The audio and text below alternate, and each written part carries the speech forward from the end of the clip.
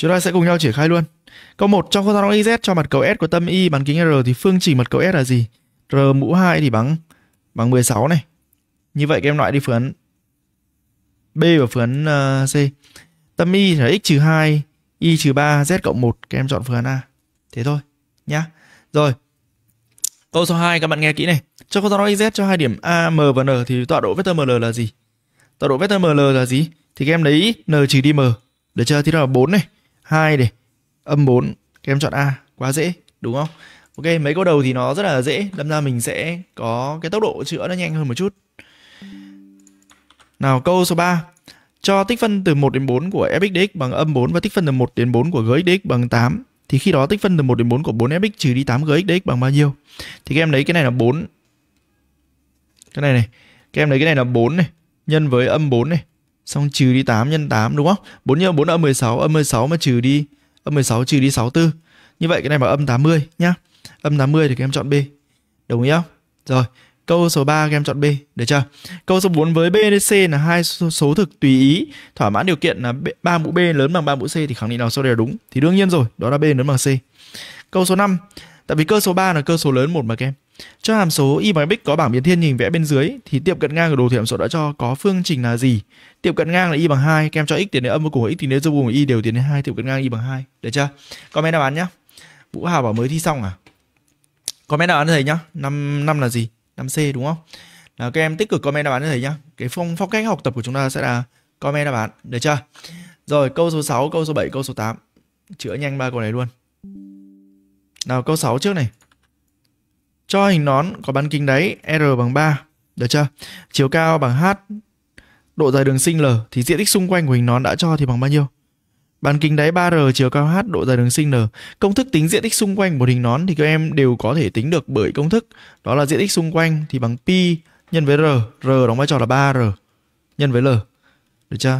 Đề dạo này có xu hướng ra đề nửa nửa kiểu này thế nhỉ?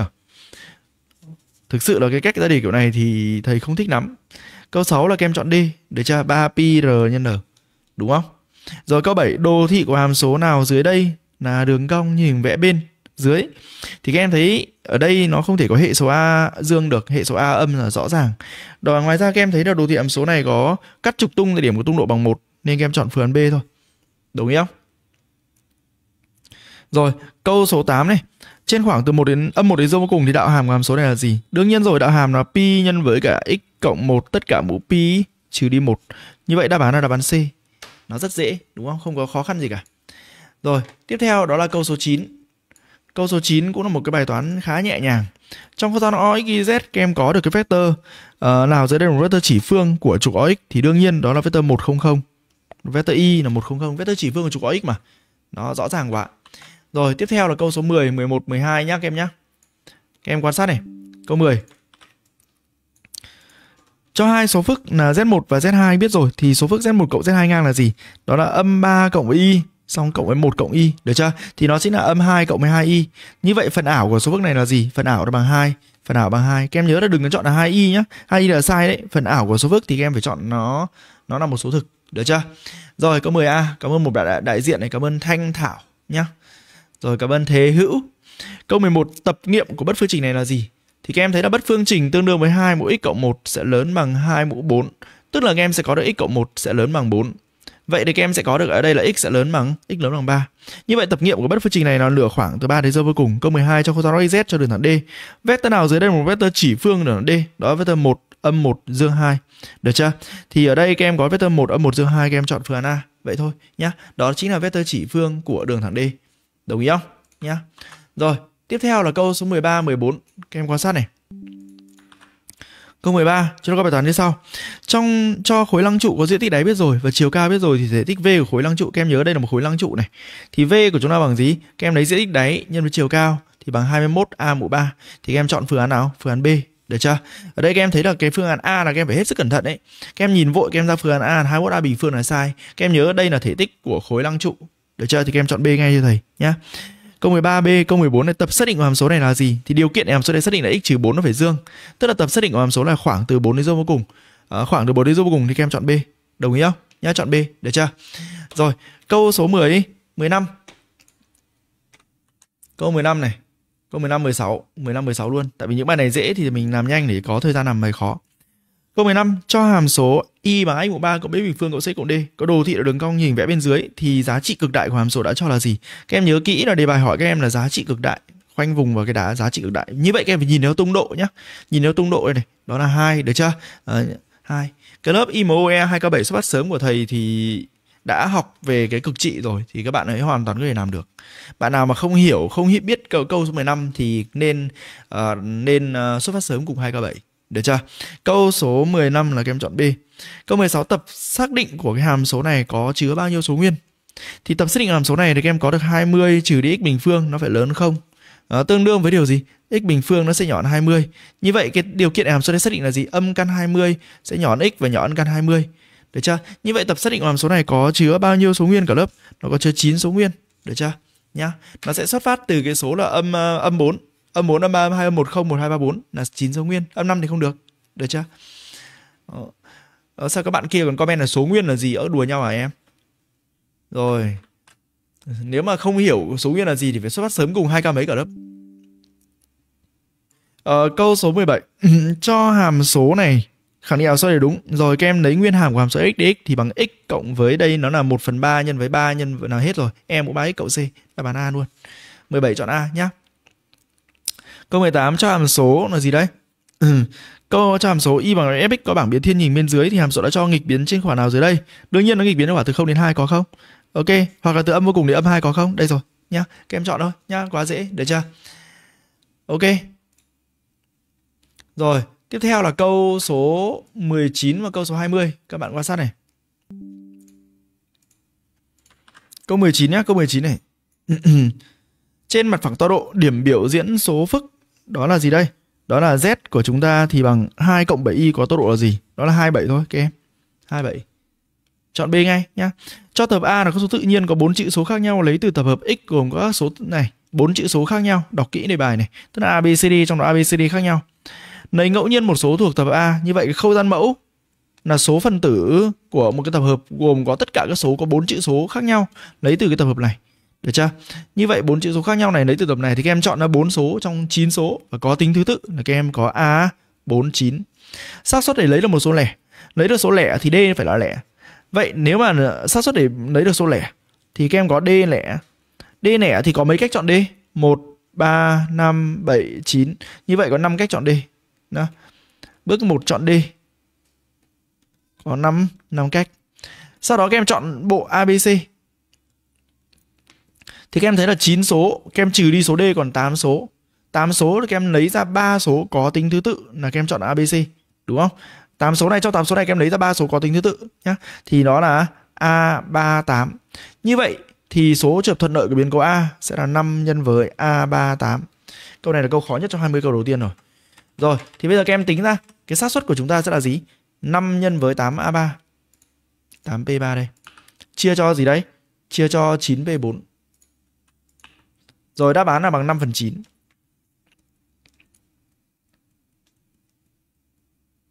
năm phần chín em chọn B Vậy thôi Câu 21 nhìn cái đã thấy dễ ở cho khối chóp diện tích đáy biết rồi, chiều cao biết rồi, thể tích V của khối chóp đã cho thì các em thấy V bằng 1 phần 3 của 3A bình phương nhân 9. Được chưa? Nhân 9A. Thì V của chúng ta sẽ là 9A mũ 3. Các em chọn A. Câu 22 giá trị lớn nhất của hàm số này trên đoạn từ âm 5 đến âm 1 là gì? Các em xét cái F phẩy ra thì là 1 trừ đi 9 trên x bình phương thì nó x bình phương trừ 9 trên x bình phương. Rồi x trừ 3 nhân x cộng 3 trên x bình phương thì là âm 3. Ờ, ok, thì các em thấy là giá trị lớn nhất thì các em xét ba cái giá trị, đó là âm 5, âm 3 và âm 1. Thì các em ra được f của chúng ta sẽ như thế nào thôi nhá. Thì các em sẽ có được cái giá trị lớn nhất các em dễ dàng tìm ra ở âm 6. Tìm rất là dễ. Các em xét ba giá trị này thì số nào lớn nhất thì các em lấy. Được chưa? Rồi thì cái giá trị lớn nhất là âm 6. Cho cấp số nhân các em có công bội cấp số nhân đã cho thì bằng bao nhiêu?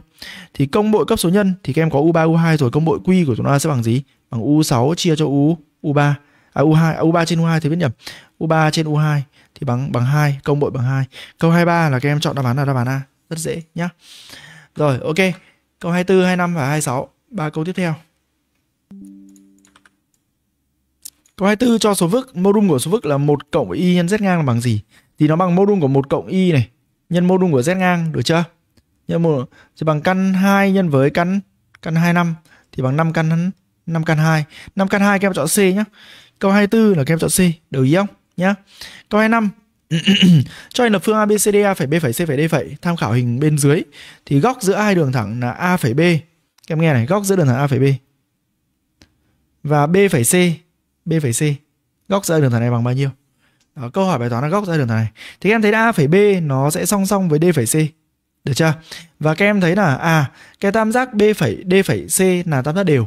Như vậy thì góc giữa hai đường thẳng này nó bằng góc gọn này. Góc này bằng 60 độ. 25 chọn D nhá. Câu 26 cho số phức này thì phần ảo của số phức z ngang là gì? Thì các em biết z ngang của chúng ta bằng gì? Z ngang bằng 3 cộng với 2y nên phần ảo của số phức z ngang bằng dương 2. Được chưa?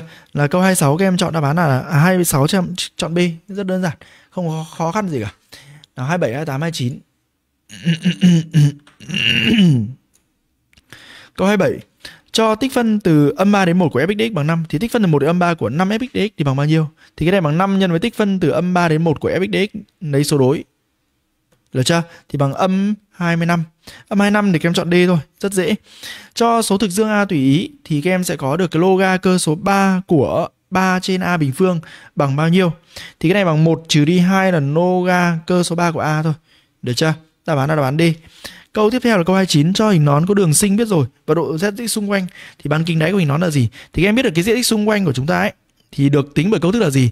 Nó sẽ bằng là pi nhân r nhân n. L đóng vai trò là 3 3L. Được chưa?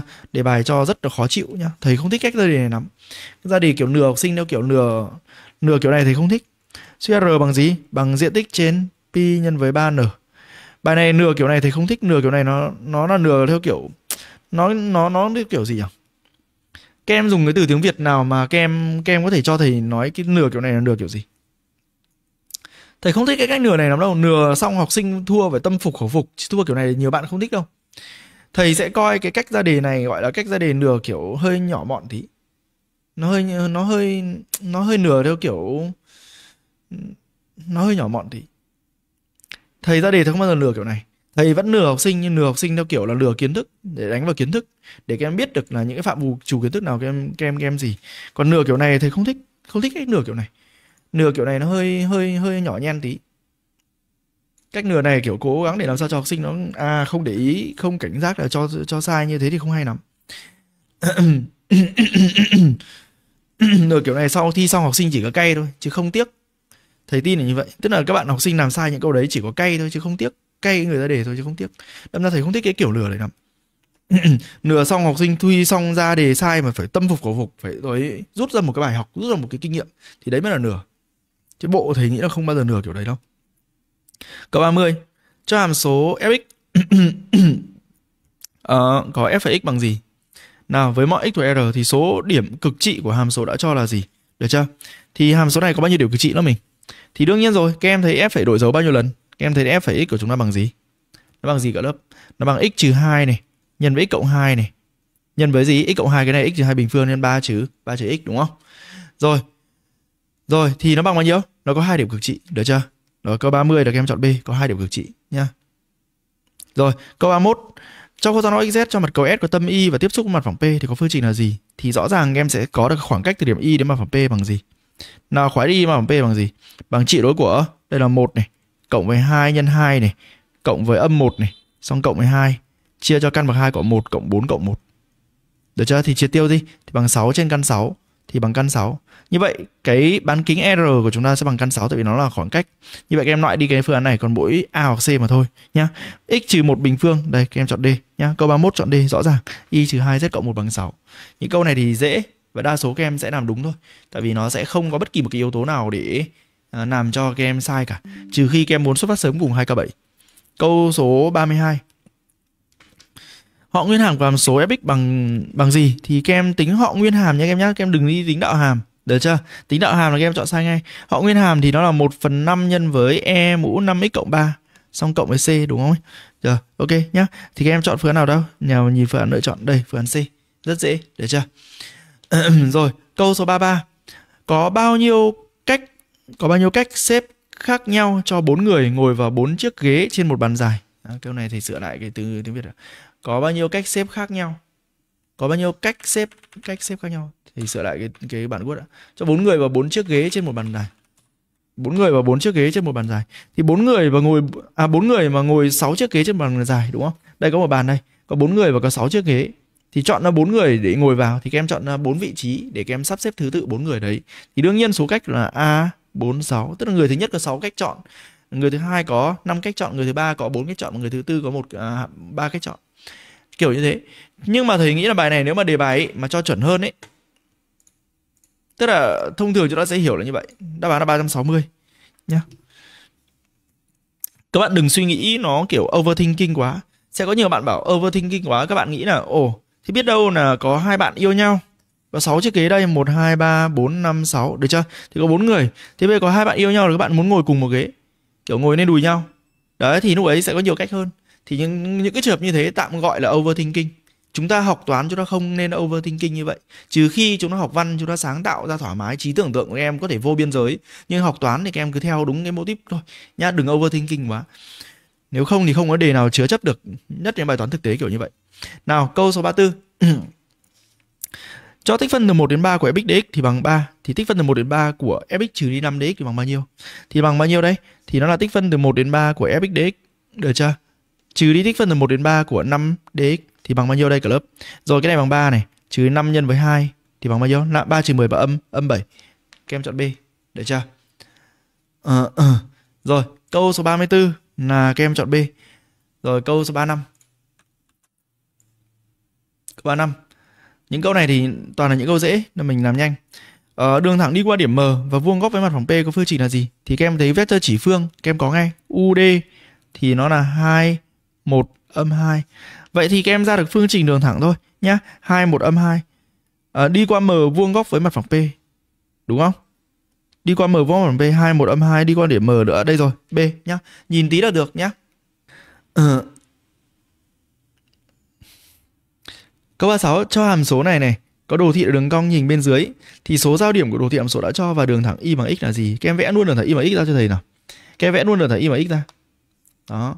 Thì các bạn có thể nhìn thấy được là nó có mấy giao điểm đấy? Nó có hai giao điểm, đúng không? Vẽ đường y bằng x ra số giao điểm của đồ thị hàm số đã cho và đường thẳng y bằng x đúng không? Thì nó có hai giao điểm nhá. Hai giao điểm thì các em chọn A thôi, nhìn cái là các em ra ngay. Được chưa? Đây. Đó. Rồi, câu số 37 Đó là cho hàm số y bằng fx có đạo hàm f và x bằng cái này Với mọi x thuộc r thì hàm số đã cho Cho lại thừa chữ C rồi. Hàm số đã cho, Hàm số đã cho Đồng biến trên khoảng nào dưới đây? Thì các em thấy là hàm số này đồng biến, Đương nhiên đồng biến trong khoảng từ Từ 0 đến giờ vô cùng có không? 0 đến 1 ok luôn này. Để cho nó dương là được nhá. 37 chọn D, quá dễ nhá. Rồi 38 39 luôn này. 38 Mấy câu đầu thì chữa nhanh nhỉ Ô chết. À, quên mất đây rồi. 38 này. Ừ. Nếu quan sát thầy chữa câu 38 nhá. Câu 38 chúng ta có bài toán như sau. Lớp mình nghe này. 38 này. Thầy càng già càng đẹp ạ. thầy càng già càng đẹp. Thôi tập trung vào bài giảng đi em ơi. Nha. Em làm thế thầy sao nhãng thầy không tập trung dạy được đâu. Lúc bạn thì khen đẹp trai, bạn thì khen à, càng già càng đẹp, bạn thì khen hát hay, bạn thì khen giảng hay. Tôi tập trung đi nhá, không khen nữa đâu. Rồi cho A là số thực âm thỏa mãn điều kiện. Ok, A là số thực âm. Rồi ok. Giá trị của A thuộc khoảng nào sau đây? Thì các em thấy đây là loga cơ số 2, loga cơ số 2. Để cho thì mình biến đổi đi. Nào đầu tiên các em có loga cơ số 2 cộng 4 nhân với 3 mũ A. Thì nó bằng loga cơ số 2 cộng 4 này. Cộng với loga cơ số 2 cộng 3 mũ A. Được chưa? Rồi nó bằng gì đây? Nó bằng 2 cộng với A lần loga cơ số 2 của 3. Được chưa? Rồi tiếp tục này. Các em có noga cơ số 2 của 3 mũ A phần 2 thì bằng noga cơ số 2 của 3 mũ A trừ đi noga cơ số 2 của 2 thì bằng A lần noga cơ số 2 của 3 trừ đi 1. Rồi, như vậy thì các em sẽ có được điều như sau. Vậy ta có được thôi được rồi, mình đặt đây bằng t đi, bằng 2 cộng với a nhân t. Thôi được rồi, không phải đặt. Mình làm được luôn nhỉ. Tới đây ta có được như sau, ta có này. Nào, 2 cộng với a nhân noga cơ số 2 của 3 này nhân với a lần nô ga cơ số 2 của 3 trừ đi 1 xong cộng với 4 thì bằng 0. Được chưa? Thì đương nhiên tới đây các em sẽ tìm được a nhân nô ga cơ số 2 của 3. Đó các bạn tìm được rất là nhanh. Đây thầy sẽ tìm luôn cho các em xem nhé. Mấy bài này các em làm nhanh luôn, không cần phải 2 cộng x 2 cộng x nhân với đây x trừ 1 4 bằng 0. Rồi các bạn sẽ tìm được ở đây các em sẽ tìm được tương đương với là a lần noga cơ số 2 của 3 hình như là lại nhầm à? À bình phương đây bình phương. Áo thật. Đây bình phương nhé xây cả lớp thiếu bình phương thiếu bình phương. Ok. Bảo sao mà nó không dẫn đây. À, nó bằng là âm 3 hoặc là a lần noga cơ số 2 của 3 nó bằng không đúng không? Nó bằng âm 3 hoặc bằng không. Nghĩa là các em sẽ có được a của chúng ta sẽ bằng là âm 3 trên oga cơ số 2 của 3 hoặc a bằng 0. Nhưng a bằng 0 thì loại tại vì đề bài cho a là số âm. Được chưa? Vì là a thuộc à, tức là vì a nhọn 0 đề bài cho nên a chỉ thể âm 3 chia cho noga cơ số 2 của 3. Và các em tính giá trị này ra xem nó sấp xỉ bằng bao nhiêu. Thì cái này các em ra được nó thuộc khoảng từ âm 2 đến âm 1. Những bài này các em loại đi phần C ngay. A là số thực âm thì các em loại đi ngay. Được chưa? Câu này thì khá là dễ. Câu 39 này, nghe kỹ này. Cho hình chóp SABC của đáy là tác vuông tại B, các em có được BC thì bằng A, các em có được AC thì bằng 2A, được chưa? Và các em có cạnh bên SA vuông mặt đáy, SA bằng A. Ờ, khoảng cách từ điểm A mà phải SBC. Rồi đọc đề là các em đã thấy là bài toán này thì khá là dễ. Đúng không? Bài này không chắc chắn nó không thể là bài toán khó được. Tại vì cái kiểu đề ra đề này là các em biết hết mọi yếu tố rồi. Đó, biết hết mọi yếu tố rồi. Tam giác ABC vuông tại B đây, vuông tại B đây. Đấy, NA lại vuông góc mặt đáy đây NA vuông mặt đáy đây. Thì các em thấy là biết hết tất cả mọi thứ rồi. Đề bài cho mọi thứ tức là nó giống như kiểu các em xem một cái thước phim Full HD ấy, không hề che bất kỳ chỗ nào cả đúng không? Ở đây các em có được BC bằng A. Ý là không không không hề che nghĩa là nghĩa là thôi được rồi nhá. Tập trung vào uh, NA mà A căn 3 NA mà A căn 3 được chưa? ABC vuông tại B được chưa? NA vuông mặt đáy các em thấy, các em biết hết mọi thứ rồi. Các bạn thấy là không hề che nghĩa là ý thầy muốn nói là có những bài toán ấy mà chiều cao ấy là họ che, họ khuyết đi, thì các em phải phải dùng kỹ năng để các em tìm ra cái chiều cao hoặc là hình chiếu của S. Như đây mọi thứ các em biết hết rồi, thì còn giấu giếm gì đâu. Chả có dấu diêm gì cả. Thì để bài yêu cầu các em tính khoảng cách từ điểm A nó phải SBC thì đây là khoảng cách từ chân đến góc đến mặt bên thì quá dễ rồi, đúng không? Ok. Khoảng cách từ điểm A đến mặt phải SBC là gì? Thì đương nhiên rồi, quá dễ rồi. AH D từ A đến mặt phải SBC nó là xy trên căn x bình cộng y bình ấy. ý là như vậy nhá. AC bằng 2A rồi viết nhầm. AC bằng 2A thì cái này bằng căn 3 Ok thế thì càng càng dễ. Tam giác SAB đó vuông cân nhá. Thì bằng SA trên căn 2 thì viết luôn nhá. Cái này các em nhậm mồm cũng được. Căn 6 phần 2A và 39 chọn D nhá Câu 40 này, trong câu toán nói Z cho ba mặt phẳng, mặt phẳng P, mặt phẳng Q, mặt phẳng R. Các em có thể nhìn ra được ba mặt phẳng này, ấy, cái ấn tượng đầu tiên ấy là các vectơ pháp tuyến bằng nhau. Do đó thì ba mặt phẳng này là ba mặt phẳng nó nó sẽ uh, nó sẽ đôi một song song với nhau, được chưa? Uh, ba đường một đường thẳng delta thay đổi cắt ba mặt phẳng này lần lượt tại các điểm ABC. Được chưa? Bạn Vũ Đức Tài bạn tưởng thầy không đang độc thân. Em ơi, thầy có Uh, trước mắt là thầy đang có một vợ và đang có ba đứa con. Còn tương lai thì có thể có nhiều hơn như thế nữa thì thầy không biết. Hiện tại đang như vậy nhá. Nào các em nghe kỹ này. Một đường thẳng delta thay đổi cắt ba mặt phẳng này lần lượt tại abc nhá. Thì đây ba mặt phẳng song song đây thầy sẽ vẽ sơ sơ ra cho các em quan sát. Có ba mặt phẳng song song với nhau. Đó ba mặt phẳng song song với nhau. Một đường thẳng thay đổi cắt ba mặt phẳng này tại các điểm abc rồi tại a này tại B này, tại C này, được chưa? Rồi, uh, ok, câu hỏi bài toán là gì đây? P là mặt phẳng mà cộng 5 này, Q là mặt phẳng, đây là P này, P là cộng 5 này, Q là cộng 1, 1 thì lại bé nhất thì Q đây. Và R là cộng 3, cộng 3 thì nằm ở giữa. R đây. Như vậy A nằm đây chứ. B phải nằm ở dưới đây, sự cả lớp nhá. B nằm ở dưới đây, C nằm ở giữa. C phải nằm ở giữa tại vì C thuộc mặt phẳng R đúng không? C thuộc R. C thuộc R thì C nằm ở giữa. PQR mà. Thì đề bài yêu cầu các em tìm giá trị nhỏ nhất của AB bình phương trên 216 AC. Thì bây giờ thầy hỏi đây. Các bạn nghe kỹ này. Thầy hỏi này. Ờ, các bạn sẽ có được cái khoảng cách Đây. Nào. Các em kẻ một đường thẳng vuông góc với cả ba mặt phẳng này. Cắt đây tại MNP đi. MNP. Thì các em biết được cái khoảng cách giữa P và R bằng bao nhiêu? Tức là MP các em tính được và PN các em tính được. Tính được ngay. Đó, tại vì MP đây nhá, kẻ vuông góc đây thì các em có được MP. MP nó chính là khoảng cách giữa P và R. Được chưa? Khoảng cách giữa hai mặt phẳng. Và khoảng cách giữa hai mặt phẳng bằng gì? P và R đây thì khoảng cách giữa hai mặt phẳng là trị tuyệt đối của hai ký hiệu D1 trừ D2.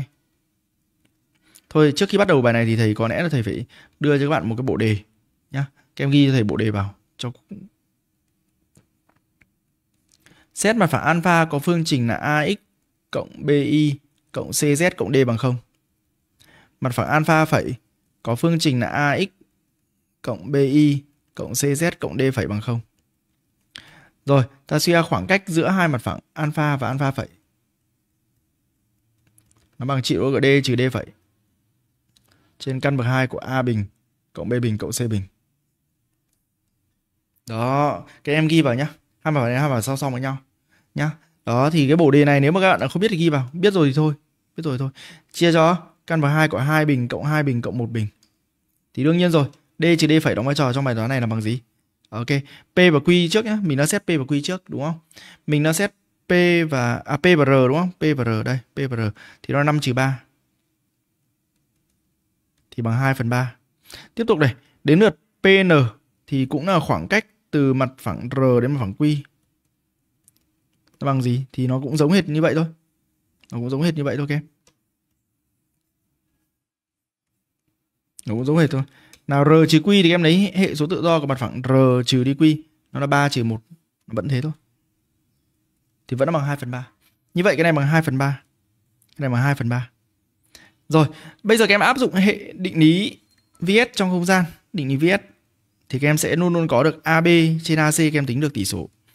AB chia AC thì bằng gì? AB trên AC thì bằng ML chia cho MP. Và rõ ràng là tỷ số này bằng 2. Đúng không? Tại vì là gấp đôi, MP là trung điểm của ML, từ đây suy ra P là trung điểm ML. Nhá. Vậy thì từ đó AB trên AC bằng 2. Nên AB bằng AB bình phương bằng 4 AC bình phương. Vậy các em áp dụng vào đây thì các em giá trị của biểu thức M bằng gì? Vậy M bằng AB bình phương cộng với 216 trên AC thì bằng 4 lần AC bình phương cộng 216 trên AC. Tới đây các em có thể dùng đến cái cosi hoặc khảo sát thì tùy, có quá nhiều con đường để làm. Thì thầy tách đến 4 lần AC bình phương cộng 216 chia cho 2 nó là 108 trên AC cộng 108 trên AC. Nó lớn bằng 3 lần căn bậc 3 của 4 nhân 108 nhân 108 này, nhân 108. Được chưa? Rồi. Ok, các em áp dụng vào đây. 3 nhân với căn bậc 3.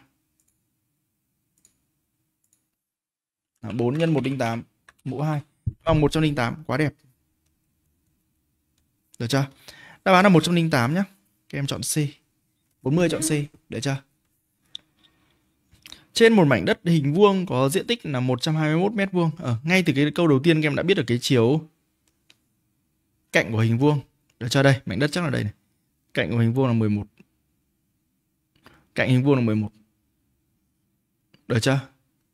Rồi, người ta gì đây? Người ta đào một cái ao nuôi cá hình trụ sao cho tâm của hình tròn đáy trùng với tâm của mảnh đất. Tâm của hình tròn đáy trùng với tâm mảnh đất. Và ở mép giữa của cái ao và mép của mảnh đất người ta để lại một khoảng trống để đi lại. Được chưa? Khoảng trống để đi lại. Biết rằng khoảng cách nhỏ nhất giữa mép ao và mép của mảnh đất thì bằng x. Giả sử chiều sâu của ao cũng là x luôn. Đó, thì thể tích V lớn nhất của cái ao thì bằng bao nhiêu? Đó. Các em nghe kỹ này. Để mà quan tâm đến thể tích của V thì em đã biết được chiều cao rồi, chiều cao bằng x, được chưa? Ở đây rõ ràng là x của chúng ta thì các em có được 2x chắc chắn phải nhọn 11 đúng không? Thì các em tính nốt bằng ký R. R của trụ, R của chính là R của ao đấy thì các em sẽ có bằng một nửa đây này. Cái đoạn này là 11 trên 2 h của trụ thì bằng bằng x. Như vậy thì các em sẽ có được cái thể tích của cái ao bằng gì? Bằng pi nhân với r trụ bình phương nhân với h. Bằng pi nhân với 11 phần 2 trừ x. Tất cả bình phương nhân h là x. Được chưa? Ok chưa? Thì xong rồi. Tới đây trẻ không tìm được mắc. Tới đây các em có thể rất rất rất rất rất rất rất rất là nhiều cách để làm. Các em có thể khảo sát. Ở đây các em lưu ý này, x của chúng ta ấy thì lớn không và nhỏ hơn 11 phần 2 nhá. Thì các em khảo sát, tới đây các em có thể tìm mắc của V. Có thể khảo sát. Có thể dùng AMGM. AMGM ý là bất thức liên hệ giữa trung bình cộng trung bình nhân hay nói cách Việt Nam thì cho gọi là bất thức cosi nhá thôi gọi là gọi là cosi đi thôi gọi bất thức này đi cho các em dễ hiểu dùng bất thức đó là a nhân b nhân c. Nhọn bằng a cộng b cộng c chia cho 3 tất cả mũ 3 với mọi a lớn 0, b a lớn 0, b lớn bằng 0, c lớn bằng 0. các em muốn dùng cách 1 hay cách 2? nhá. Được chưa? Các bạn muốn dùng cách 1 hay cách 2? nào. Thì thôi nếu mà học sinh thầy Đức thì thầy ưu tiên cạnh chọn cách số 2 hơn còn tất nhiên là các em có thể lựa chọn cách số 1 tùy nhá. Ok nhá.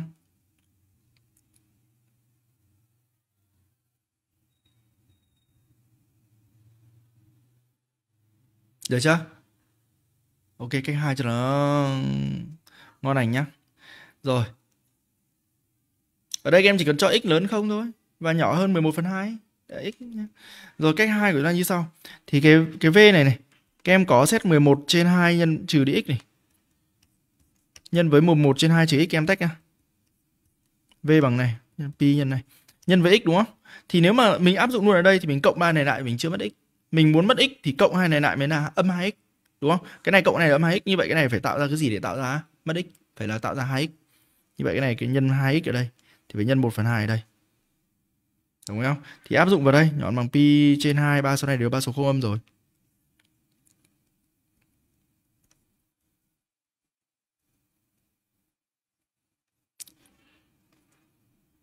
Bạn nào không hiểu cái này có thể khảo sát cũng được cho nhanh cái này thầy dạy các bạn trong khóa học từ đầu năm rồi. Những kiểu như này.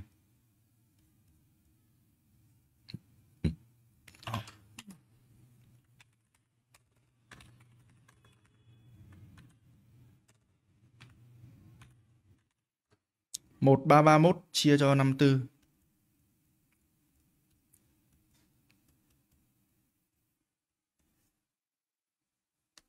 Chọn ai nhé mình nhá các em đọc đề xong các em hiểu được cái, cái bài toán này thuộc phạm vi nào. Cho hàm số bậc 3 y bằng fx có đồ thị như hình vẽ bên. Được chưa? Có tất cả bao nhiêu giá trị nguyên của tham số m? Để sao cho để sao cho gì? Phương trình này có nghiệm thuộc cái đoạn từ âm có nghiệm thuộc đoạn từ âm 2 cho đến 1 tức là chỉ cần làm sao cho nó có nghiệm thuộc đoạn từ âm 2 đến 1 thôi. Được ok thì bây giờ các em à, xét cái này bằng cái phương trình tương đương điều gì? Phương trình tương đương với điều gì? Nào f của x bình x mũ 4 này trên 2 này trừ đi 4x bình phương trừ m bài này có nghiệm thậm chí không không cần biện luận nhưng bài này chắc là dễ thôi. Âm 2 này. Thì em vẽ đường y vào âm 2 ra. Đây đường y vào âm 2 ra. Nó cắt cái phần đồ thị hàm số này tại mấy điểm đấy? Tại 3 điểm. 3 điểm đấy là có hoành độ là âm 1 1 2 tức là sao tức là nếu mà các em xét cái phương trình fx bằng âm 2 ấy, thì fx bằng âm 2 nó sẽ có ba nghiệm là x bằng âm 1 x bằng âm 3 x bằng 1 và x bằng x bằng 2 đấy là phương trình fx bằng âm 2 nhá rồi, như vậy thì để mà cái phương trình bằng âm 2 ấy, thì nó có bao nhiêu nghiệm? Nó có các nghiệm là gì? Cái nõi này này, các em cho bằng âm 3, bằng 1, bằng bằng 2. Được chưa? Như vậy phương trình này tương đương với cái nõi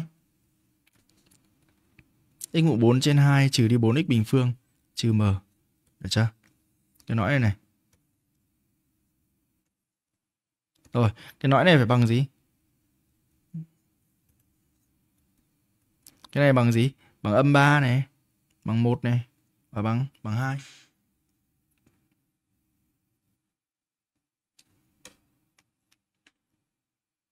Được chưa? Âm 3 bằng 1 bằng 2, được chưa? Ừ.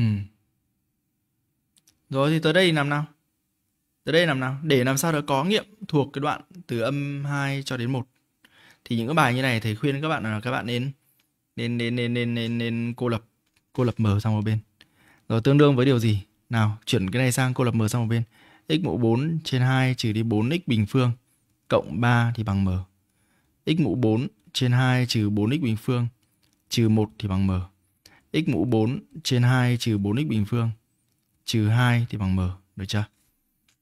Xong các em sẽ vẽ ba cái đồ thị này trên cùng một hệ trục tọa độ. Nhất là các em chỉ xét trên đoạn âm 2 đến 1 thôi. Nhá. Thì các em xét hàm số gx, nó là x mũ 4 trên 2 trừ 4x bình phương cộng cộng 3 đi. Các em xét g phẩy nó bằng gì? Bằng 2x mũ 3 trừ 8x. Nó là 2x nhân x trừ 2x cộng 2. Đồng ý không? đấy là g phẩy nhá g phẩy thì các em sẽ thấy là như này các em vẽ trên cái hệ trục tọa độ. À, X biến thiên này. Âm các em nhớ là các em quan tâm đến âm 2 đến 1 thôi. Âm 2 đến 1 thôi. Tức là tất cả con mắt của các em độ dồn vào cái đoạn từ âm 2 đến 1 thì âm 2 thì g phẩy của chúng ta bằng 0 đây?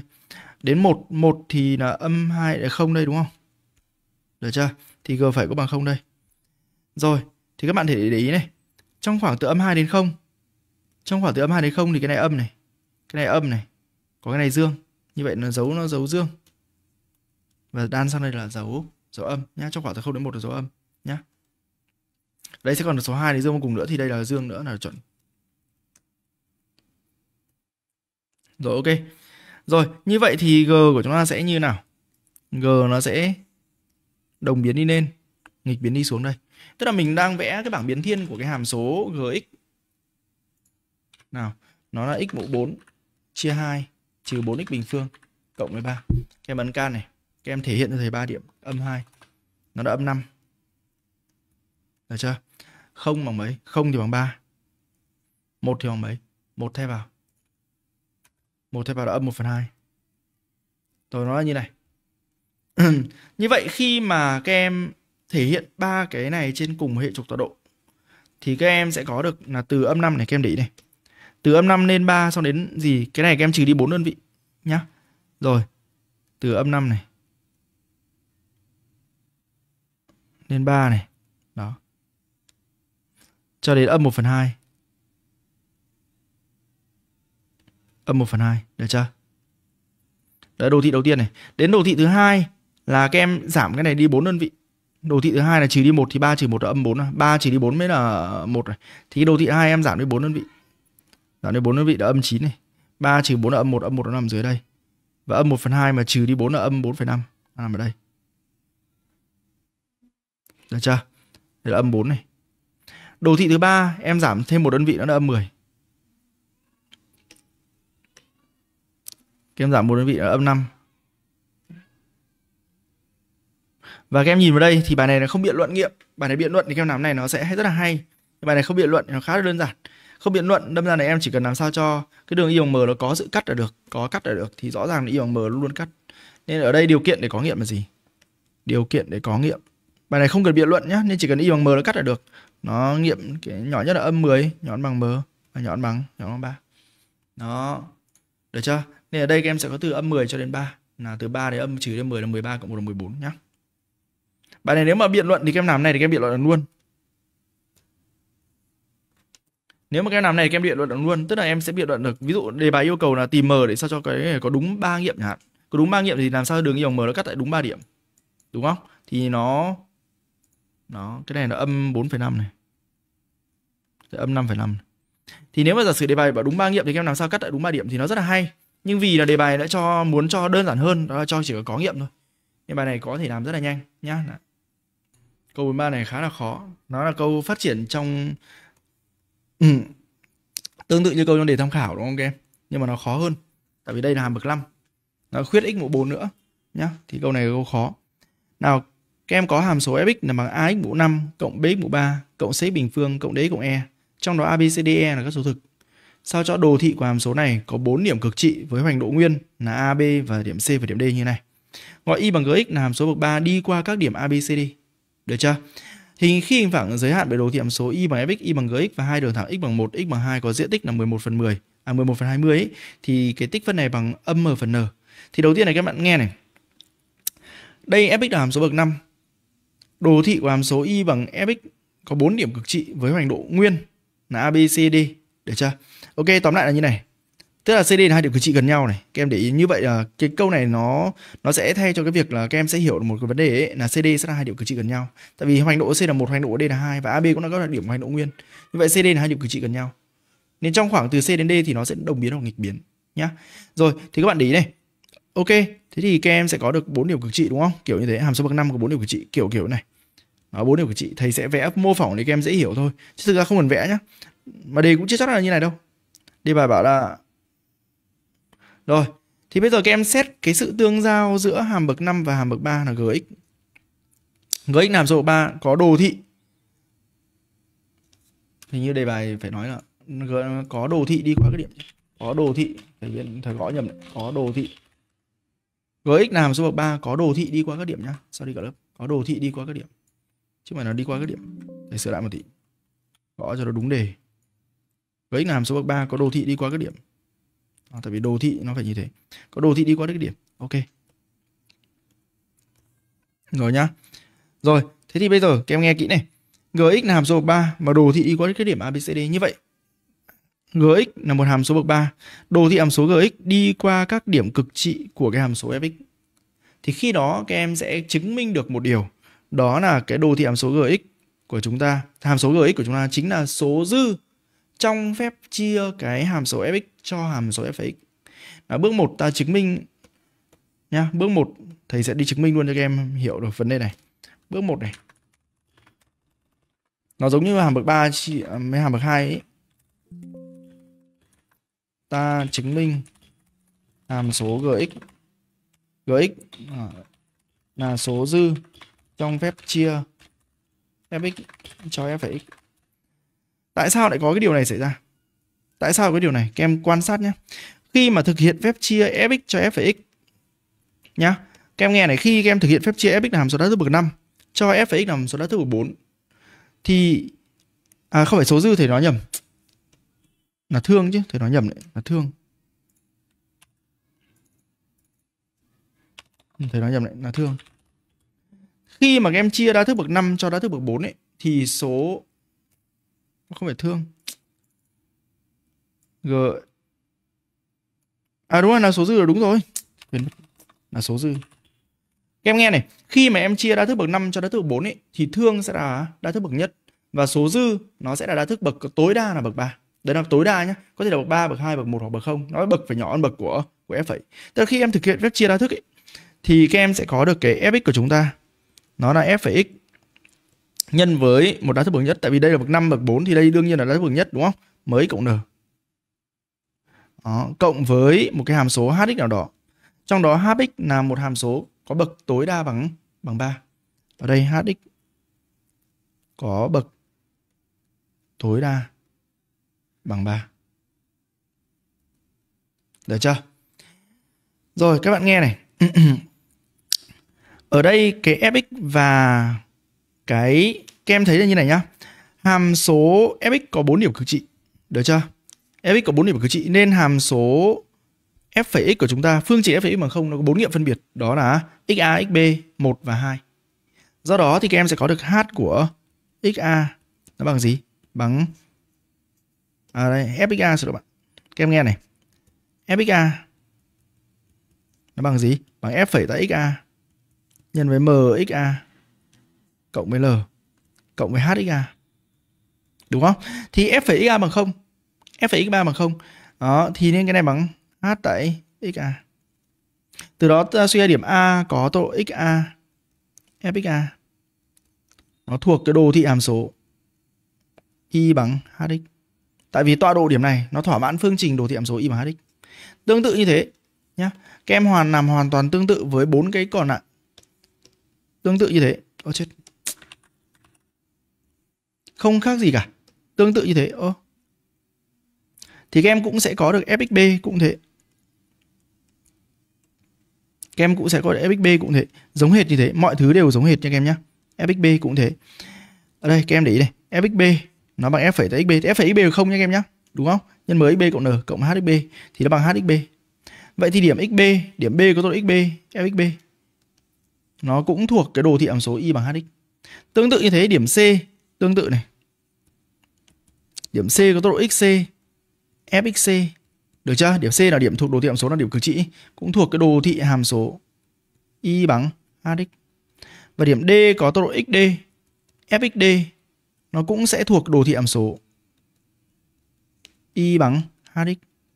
Vậy thì bốn điểm ABCD đều thuộc đồ thị hàm số y bằng hx và đồ thị hàm số hx là một hàm số có bậc tối đa bằng 3. Đề bài còn cho 4 điểm ABCD cũng thuộc đồ thị hàm số y bằng gx, gx là hàm số bậc 3. Như vậy nó phải có sự đồng nhất, nghĩa là từ đó ta suy ra được fx nó trùng với gx. À suy ra hx à, ờ, nó bằng gx nhá. Ok nhá. Rồi, từ đó ta sẽ có được điều gì? fx của chúng ta nó bằng f phẩy x nhân với mx cộng n nhân với cộng với gx. Nào các bạn đã hiểu vấn đề chưa? Nào bước 1 các em phải hiểu bài đã. Đó, bước 1 hiểu bài. Nào hiểu bài không cả lớp nhé. để cho Hiểu bài không cả lớp.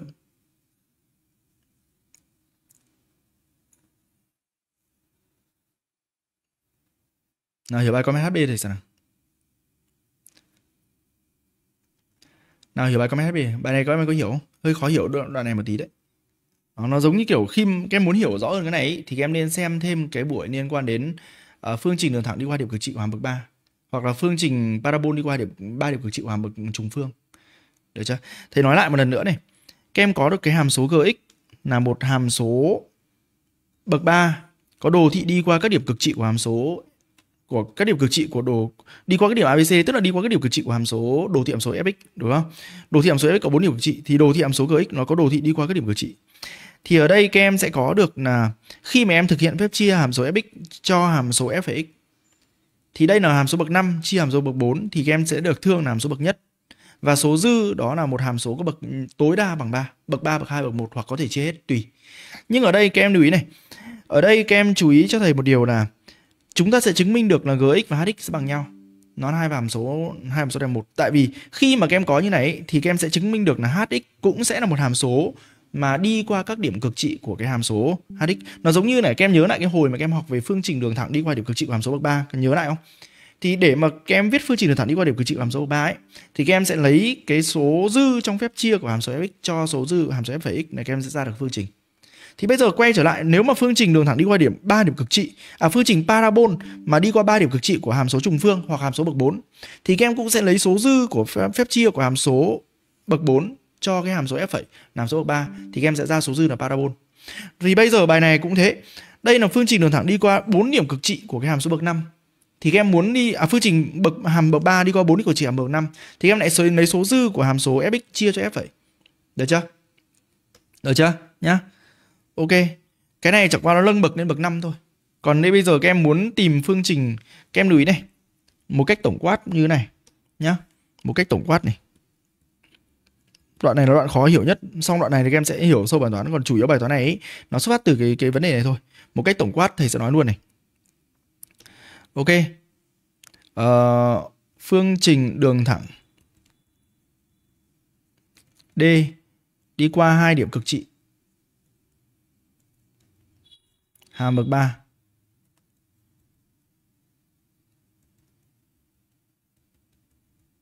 Hàm này gọi là hàm fx đi. Thì các em làm nào? Thì các em xét cho thầy fx mà các em chia cho f x. Nó là số dư f x nhân với tx. tx bao giờ nó mới cộng n tại vì hàm số f phải cộng với um, rx. rx là bậc bậc nhọn bậc 2 thì rx đây thì phương trình là y của chúng ta sẽ bằng rx. Được chưa? Tiếp tục này. Phương trình đường thẳng à phương trình của một parabol. Đó, P đi qua 3 điểm cực trị. Hàm bậc 4.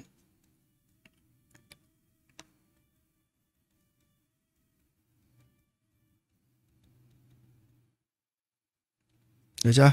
Thì các em sẽ có được phương trình như sau. Các em lấy fx mà chia cho f x thì vẫn là mx cộng n. Cộng với số dư là rx thì bao giờ cũng thế. Cái phương trình rx lúc này là parabol bậc tối đa bậc 2, đúng không? Tại vì f phải là bậc 3 thì rx tối đa bậc 2 y bằng rx nó cũng không khác gì cả. Và cuối cùng cái mấu chốt của bài toán này nó nằm ở cái bậc người ta nâng lên một bậc nữa bậc bậc 4.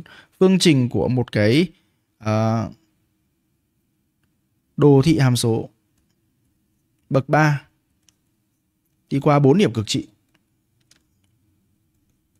của hàm bậc 5.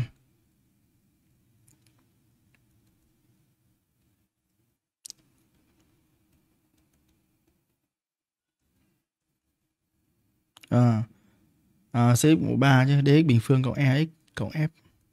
Thì cái phương trình của chúng ta là gì? Các em vẫn lấy fx là bậc 5 chia cho f phải x là bậc 4 thì số dư là bậc nhất. Cộng với một cái rx thì cái số dư của chúng ta vẫn là y bằng rx như thế. Tóm lại muốn biết được cái phương trình đối với hàm bậc à, 3 ấy thì muốn biết phương trình đường thẳng đi qua điểm cực trị hàm bậc 3 thì các em cứ lấy số dư của fx chia f phải x. Nếu mà các em có một hàm bậc 4 thì các em muốn biết phương trình parabol đi qua 3 điểm cực trị của hàm bậc 4 thì các em tiếp tục các em lấy số dư và đây là hàm bậc 5 và giả sử có 4 điểm cực trị thì các em tiếp tục các em lấy số dư nhá. Nên ở đây cái nguyên tắc là gì? Là các em cứ đi lấy số dư khi các em chia cho fx chia cho f phẩy thì số dư là bao nhiêu thì cái đường đấy đường y bằng cái số dư đấy nó sẽ đi qua các điểm cực trị. Lý do vì sao? Lý do vì là sao? Giả sử nhá, x0 y0 là một điểm cực trị. Các em thấy x không bảo là các em có fx0, f phẩy x0 bằng 0 thì bằng r x0. Nên cái điểm cực trị đấy cũng cũng sẽ thuộc đồ thị hàm số này. Được chưa? Đây là mấy cộng n thì viết thiếu, mấy cộng n.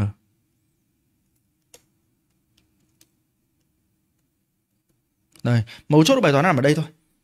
Đây là cái cách ra đề của bài thôi nha. Mấu chốt của bài toán nó nằm ở đây. Được chưa? Mấu chốt quan trọng nhất của bài toán nó nằm ở cái chỗ này. Đó. đó lý do vì sao đấy thì thầy có nói đấy nhá. Các em nhớ là khi mà các em muốn viết một cái, ví dụ hàm bậc 5 có 4 điểm cực trị, thì các em muốn viết được một cái phương trình đồ thị của hàm bậc 3 đi qua các điểm cực trị của hàm bậc 5 đấy, thì các em cứ lấy số dư khi các em chia cho f phẩy. fx chia f phẩy x được số dư bao nhiêu thì đấy là phương trình. Giống như kiểu bậc 3 mà muốn ra được đường thẳng đi qua điểm cực trị ở bậc 3 thì các em lấy số dư khi chia cho f phẩy. Cứ lấy số dư chia cho f phẩy thì em ra được phương trình. Nhá. Được chưa các bạn hiểu bài không? Rồi, bây giờ quay trở lại với câu chuyện bài toán. Cái chỗ này thì thầy sẽ để bút màu à, thầy sẽ để bút màu màu này đi. Tổng quát này. Ok nhá. Cái phần này là phần mà các em nghiên cứu tham khảo thêm. Rồi, bây giờ quay trở lại với câu chuyện của bài toán.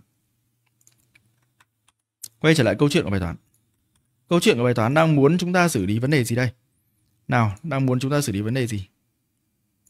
À, bây giờ thì mình sẽ có được f trừ đi g thì bằng f phẩy nhân với mới cộng n rồi. Đó, ta có là như sau. fx trừ gx thì bằng f phẩy x nhân với cả mx cộng n. Các em nghe này, gx của chúng ta nằm hàm số bậc 3 đúng không? fx là một hàm số bậc bậc 5 lại khuyết mất x mũ 4. Nên ở đây các em sẽ có được là ax mũ 5 này cộng với 0 nhân x mũ 4 x mũ 4 không hề có nhá. fx không có x mũ 4 và gx cũng không có x mũ 4 đây cộng không x mũ 4 cộng với chấm chấm chấm các cái còn lại này. Nó bằng f phẩy x, f phẩy x nó là 5a x mũ 4 này cộng với 3bx bình phương cộng chấm chấm đây. À, nhân với mx cộng n. Được chưa? Tới đây nó vẫn còn một cái vấn đề tinh tế nữa là các em sẽ tìm được cả m và n dựa vào cái việc khuyết x mũ 4 em tìm được cả m và n. Cụ thể là như này. Các em nên đồng nhất hệ số của x mũ 5 và x mũ 4. x mũ 5 và x mũ 4. Các em đồng nhất hệ số của x mũ 5 thì ở đây có một cách duy nhất để vế phải tạo ra x mũ 5. Đó là lấy 5 ax mũ 4 nhân với mx nhá. Rồi, đồng nhất hệ số của x mũ 5.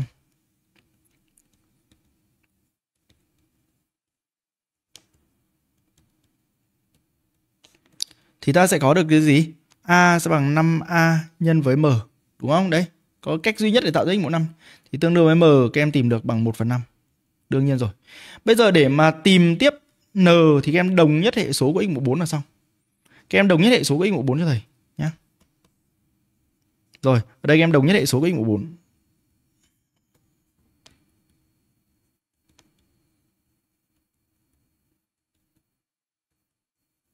Đồng nhất hệ số của x mũ 4 thì các em thấy là đây không x mũ 4 này. Vế phải để tạo x mũ 4 thì các em nhân này với nhau. À không, không nhân được. Nhân này với nhau. À không, không nhân được. Nhân này với nhau. Có đây là một cách duy nhất để tạo x mũ 4 thế thôi nhá. Ok, thì các em có được không của chúng ta sẽ bằng 5a nhân n. Ta suy ra n bằng n bằng 0. n bằng 0. Tuyệt vời không? Như vậy ta suy ra được cái điều là gì? Vậy thì các em sẽ có mn rồi, thì các em có fx trừ đi gx thì bằng f phẩy x nhân với, đây là 1 phần 5x. Rồi các em đóng khung như thế này vào. Nhá. Ok. Rồi, bây giờ các em tiếp tục các em xem tiếp này. Khi diện tích hình phẳng giới hạn bởi đồ thị hàm số fx gx và hai đường thẳng x bằng 1 và x bằng 2 có diện tích thì bằng 11 phần 20. Khi hình phẳng giới hạn bởi có diện tích bằng 11 phần 20 thì tích phân từ 1 đến 2 của fx dx thì bằng âm m phần n. Với m là mn là các số nguyên dương và m trên n là phân số tối giản tính s bằng m trên n thì các em có được như này cái diện tích của hình phẳng giới hạn bởi từ 1 đến 2 ta sẽ có được cái theo đề bài tiếp này bước uh, bước 2 bước 2 các em xử lý tiếp bước 2 nhá. Nào, các em xử lý nốt này. Diện tích S của chúng ta bằng tích phân cận từ đâu? Từ 1 đến 2 của trị nó có fx trừ gx dx nó bằng gì?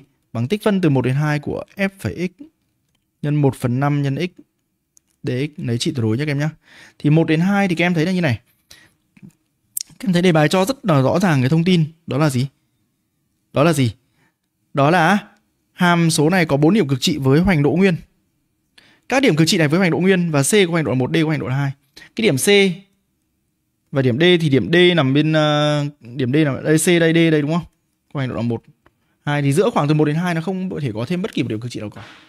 Được chưa? C cái tung độ điểm c nhỏ hơn tung độ điểm d. Do đó thì rõ ràng đối với cái giả thiết như này thì fx của chúng ta là một hàm số đồng biến trong khoảng từ 1 đến 2 nhá. Từ đề bài từ giả thiết thì các em sẽ có, đây nhá.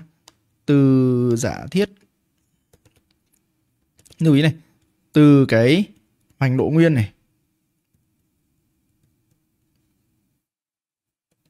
IC lại nhọn ID được chưa? ID ta suy fx đồng biến với khoảng là 12 được chưa? Ta suy f x của chúng ta sẽ lớn hơn và bằng 0 với mọi x thuộc đoạn 12 rồi như vậy thì các em thấy ngay được f của chúng ta như vậy s của chúng ta bằng gì nào S của chúng ta sẽ là tích phân cận từ 1 đến 2 của cái này dương rồi, nó 1 phần 5 nhân x nhân f phải x d dx.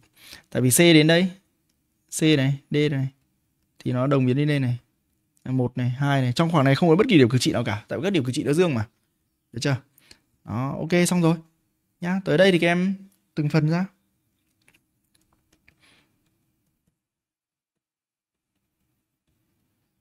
Được chưa? Thì bằng 1 phần 5 này. Tích phân từ 1 đến 2 của... À đây. À, cho hai này yêu nhau nhé.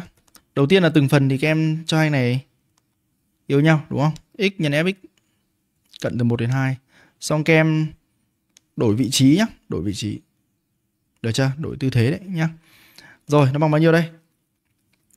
Ừ, nó bằng 1 phần 5 nhân với cả đây là 2F2 trừ đi 1F1 trừ đi cái cái y cần tìm trừ đi y. Đó được chưa?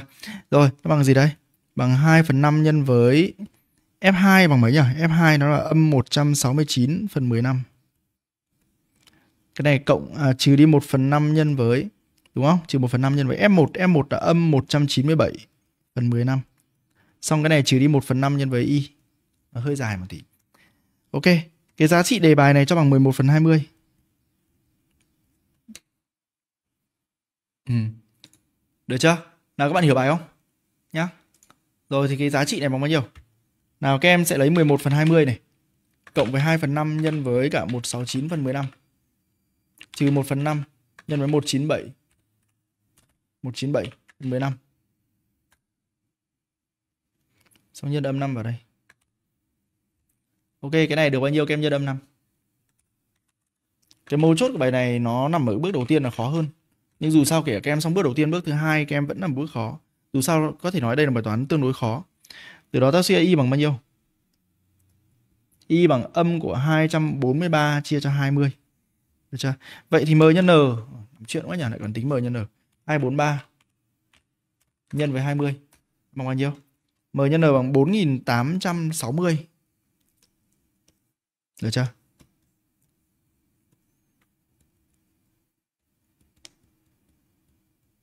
Ok xong nhá. Ừ. rồi câu này khá là đấy có một bạn vừa comment ấy bạn uh, diệp minh khôi đúng bài này thực sự là hay khó và khá là tinh tế. Rồi thì bài toán đã được giải quyết nhá câu 43 là đã xong. Đáp án là đáp án a được chưa nhỉ? Được chưa? Câu 44 này. Nghe kỹ nhá. Cho khối hộp ABCD A phẩy B phẩy C phẩy D phẩy có đáy ABCD là hình thoi cạnh bằng 2A nghe kỹ này. Và góc ABC là bằng 130 độ đúng không? Hình chiếu vuông góc của D phẩy lên mặt phẳng ABCD trùng với giao điểm của AC và BD. Và góc giữa hai mặt phẳng AD D phẩy A phẩy và A phẩy B phẩy C phẩy D phẩy bằng 60 độ. Thì thể tích V của khối đã cho thì bằng bao nhiêu? Đó thì uh, các em nghe này. Cái ABCD là hình thoi cạnh bằng 2A góc ABC của 120 độ và hình chiếu góc của D phẩy xuống mặt phẳng ABCD nó trùng với giao điểm, tức là trùng với tâm của đáy. Đúng không? Thì bây giờ các em có được như sau. nắm nhanh nhá, nắm nhanh này. Bài này chắc là làm nhanh được.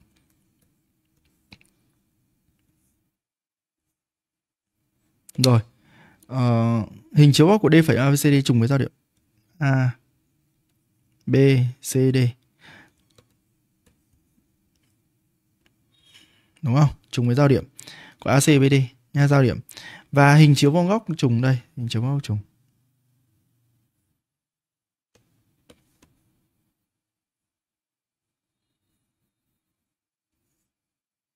Rồi, đây S đấy nhá. Hình chiếu góc của điểm D phải, D D phải, D phải, D phải. Thì thầy tập trung nguyên vào D phải thôi nhá, thầy tập trung nguyên vào D phải thôi. Đấy, thầy tập trung nguyên vào đề bài cho khối hộp nhưng mà thầy nghĩ là chỉ cần như này đủ. Góc ABC một ở góc ABC 120 độ à thì nên lấy điểm A đây đi. Em nghe góc ABC 120 độ em lấy đến điểm A ở phần tù. Là A, B, C, đây A đây. B đây, C đây, D đây nhá. Thì góc này 120 độ nó giống như hai tháo đều chập lại với nhau ấy nhá. Ok, ABCD hình thoi cạnh bằng 2. Như vậy nó là hai tốc đều cạnh bằng 2 chập lại với nhau nhỉ, dính lại với nhau như thế nhá. Ok, hình chấm góc D phải đây. Góc góc giữa hai mặt phẳng AD D A phẩy. Nào các em nghe này. D phải đây thì góc giữa mặt phẳng AD D A phẩy. Mặt phẳng AD D A phẩy chính là mặt phẳng các em nghĩ AD D A phẩy. Cái mặt này này. Nó chính là mặt phẳng D phải AD. Được chưa? Và mặt phẳng A phẩy B phẩy C phẩy D phẩy. Mặt phẳng A phẩy B phẩy C phẩy D phẩy thì nó lại song song với mặt phẳng ABCD. Đó, được chưa? Vậy thì ở đây các em thể hiện góc đấy ra. Nó chính là góc giữa cái mặt phẳng DAD và mặt phẳng ABCD. Và các em tập trung cho thầy cái đi, cái yếu tố đấy là các em xong. Được chưa?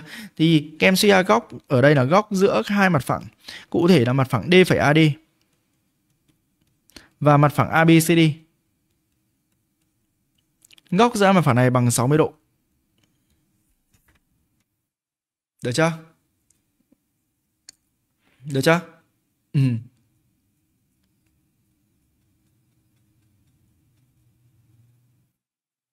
Nào góc giữa mặt phẳng D phải AD và phẳng ABCD bằng 60 độ.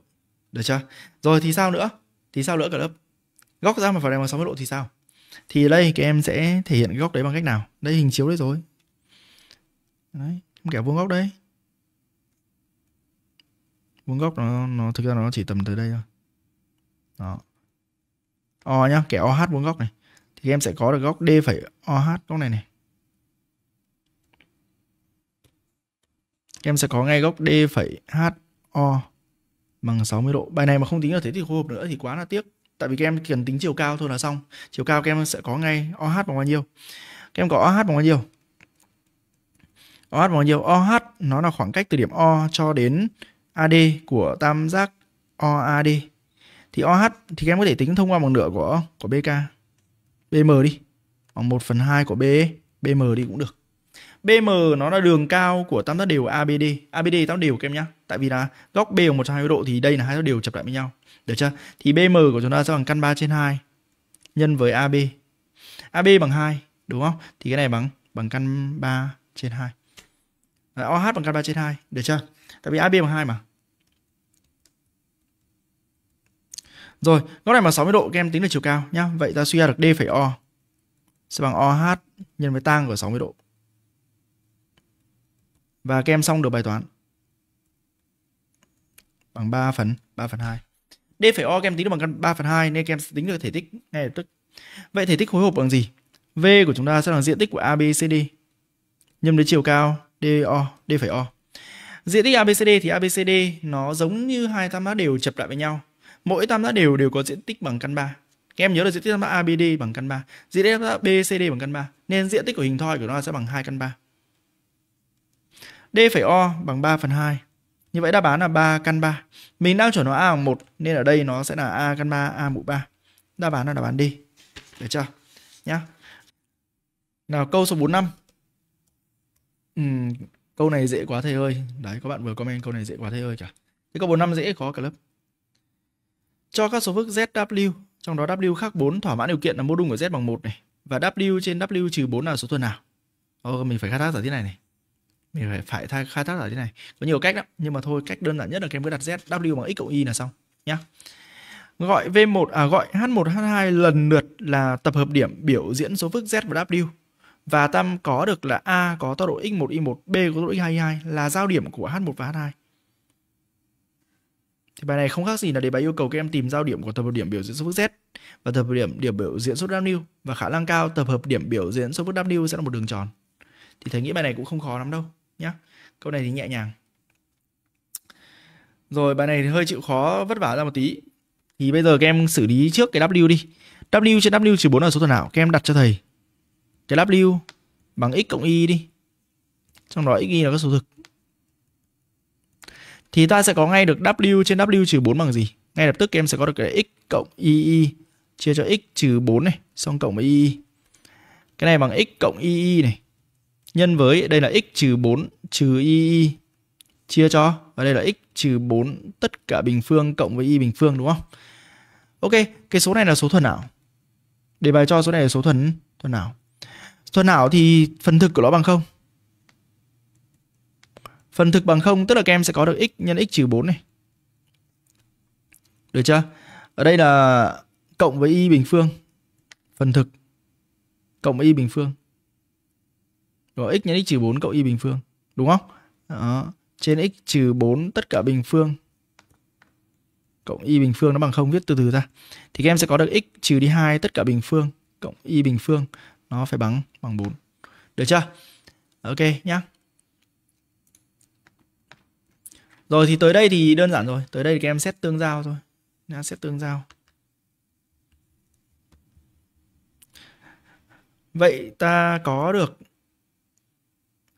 Ok, thế điểm A và điểm B, điểm A và điểm B cùng tức là H12 là, là tập hợp điểm biểu diễn số phức Z và W. Đúng không? À, Z và W như vậy H nó thuộc đường tròn tâm O bán kính R bằng 1. W thuộc đường tròn tâm uh,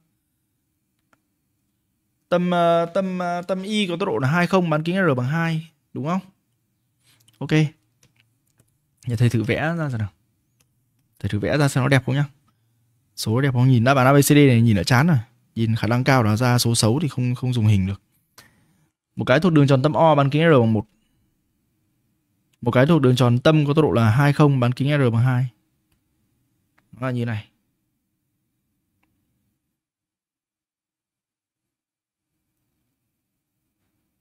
tâm có tốc độ 2 không? bán kính R bằng 2 thôi dùng đại số đi. Dùng đại số đi cho nhanh. Dùng đại số đi nhá. Ok, vậy thì các em xét cái hệ này thôi. Xét sự tương giao giữa đường tròn này, các em xét hệ. Mấu chốt bài toán này nằm ở đây này. Các em xét hệ. Để tìm cái x1 y2 y1 y2 các em xét hệ, đó là x bình cộng y bình bằng 1 và x trừ 2 và viết viết này là x bình và x bình phương cộng y bình phương trừ đi 4x đúng không trừ 4x bằng 0 Ok thì các em tìm được luôn x bằng 1 phần 4 nhá. Đúng nhỉ? Đúng rồi, các em tìm được luôn. x bình bằng hay là 1 x bằng 1 phần 4 Y bình phương bằng 1 trừ đi 1 phần 4 nó là 1 trừ đi 1 phần 16 nó là 15 phần 16. Thì hệ này nó sẽ có hai cặp nghiệm. Nó là x bằng 1 phần 4. Y bằng cộng trừ căn 15 phần 4. Từ đó ta suy ra được x1 suy ra một điểm A đi. x1 bằng x2 đi, bằng 1 phần 4. Các em chọn y1 bằng căn 15 phần 4. Chọn y2 bằng âm căn 15 phần 4. Nên câu hỏi bài toán là tính cái giá trị. À lại còn y2 nhỏ y1 à? Ờ đúng rồi, y2 nhỏ y1 nhỏ không nhỏ y1 may quá.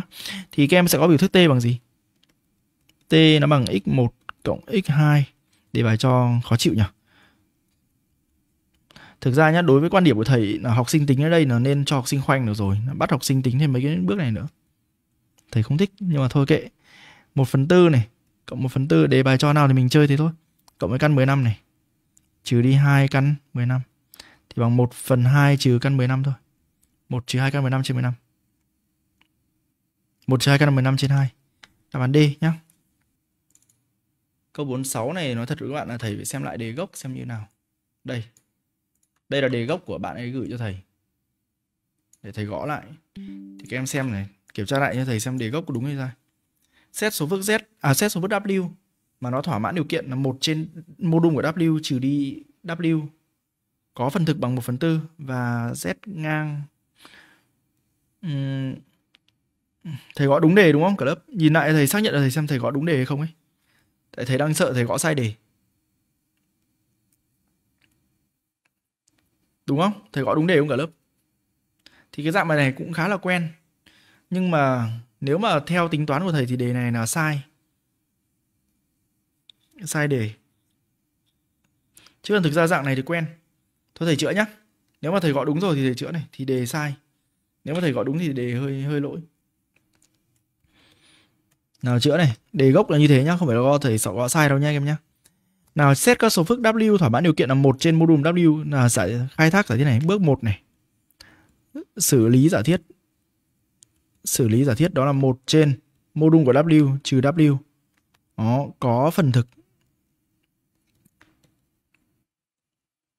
bằng 1 phần tư đúng không? Được chưa? Thì ta gọi một trên mũ đun W trừ W nó bằng gì? Bằng 1 phần tư cộng với BI đi. Được chưa? Các em lưu ý thêm một điều như này này. Đó là số phức liên hợp của số này. Nhớ rồi ở bộ đề này. Khi mà các em học về số phức liên hợp ấy, các em có được Z trên cái này thầy nói các bạn rất nhiều lần rồi, thầy nói thêm một lần nữa. Số thức số phức liên hợp của thương bằng thương các số phức liên hợp. Số phức liên hợp của tích bằng tích các số phức liên hợp. Số phức liên hợp của tổng bằng tổng các số phức liên hợp. Điều này là điều mà các em phải nhớ cho thầy. Chứng minh được thì tốt, tự chứng minh được là tốt. À, nhớ cho thầy những cái điều này. Nhá. Ok, thầy ghi là nhớ ở đây. Là các em phải nhớ thầy nhá. Rồi, vậy thì áp dụng vào đây mình sẽ có được số phức liên hợp của số 1 trên mô đun của W trừ đi trừ đi W. Bài này các em có thể đặt W và x cộng y nhưng thầy không thích làm như vậy. Các em biết này thì làm này là sẽ nhanh hơn. Còn bạn nào không biết thì em sẽ cảm thấy cái này hơi lâu. Nó bằng gì? Bằng số phức nửa hợp của một này trên số phức liên hợp của thương. Số phức liên hợp của một là một này, số phức liên hợp của W. Đây là số thực. Vậy nó bằng 1 trên mô đun của W trừ W ngang. Và cái này bằng 1 phần 4 trừ đi BI đúng không? Vậy các em muốn mất B đi. Các em tập trung các em cộng lại với nhau là xong. Nhá. Thì từ đó ta suy ra được điều gì? Cộng lại với nhau mình sẽ có 1 trên mô đun của W trừ W này cộng 1 trên mô đun của W trừ W ngang này thì bằng 1 phần 4 cộng BI này cộng với 1 phần 4 trừ BI đúng không cả lớp? À, cộng hai này với nhau thì bằng 1 phần 2 từ đó ta suy ra điều gì? Nhân chéo lên mô đun của W trừ W ngang cộng mô đun của W trừ W. Chia ra gì? Mô đun của W trừ W module W các em làm cách khác cũng được cho em nhé làm cái này quen thì các em thấy cách này nó rất là nhanh. Còn tất nhiên các em có thể làm cách khác tùy các em nhé thì cái này tương đương điều gì? Nào hai lần mô W này trừ đi W trừ W ngang. Chia cho cái này các em phá bung nó ra. Mô W bình phương này. À, trừ đi mô W nhân W cộng W ngang. Xong rồi cộng với W nhân W ngang. Bằng 1 phần 2 rồi, ok. Thì các em có thể biến đổi cái dưới, nó là hai là mô đun W, trừ W trừ W ngang. Trên mô đun W là nhân tử chung. Trong còn mô đun W, đây là hai mô đun W, trừ W trừ W ngang. Bằng 1 phần 2 được chưa? Đó, từ đó ta suy ra được mô đun W bằng 2 đây là điều cực kỳ quan trọng.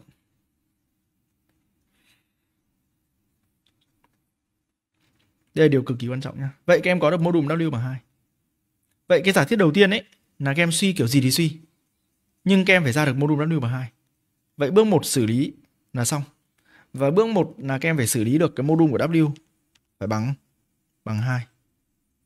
Cái kết quả của bước 1 đó là các em ra mô đùm W bằng 2. Được chưa?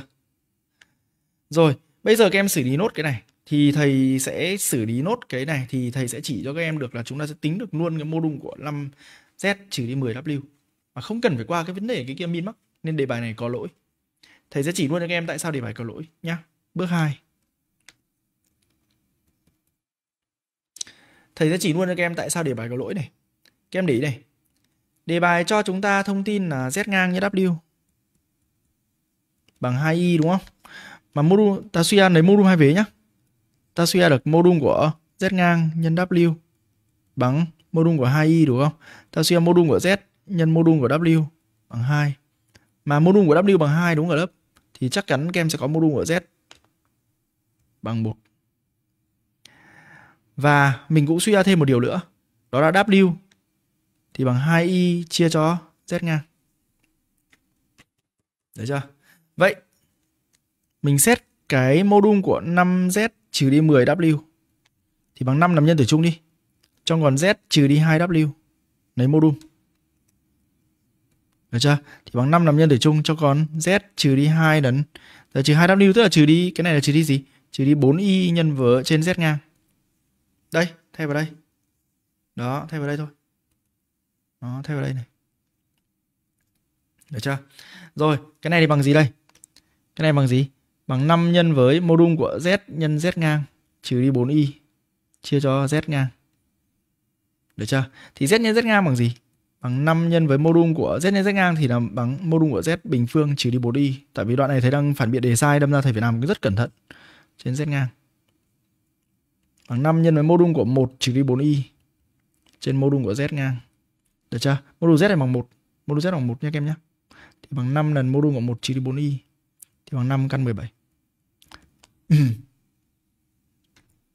nếu mà không có vấn đề gì sai thì để để sai. Chúng ta nếu mà không sai thì chứng tỏ chỉ có đề sai mà thôi. Ừ.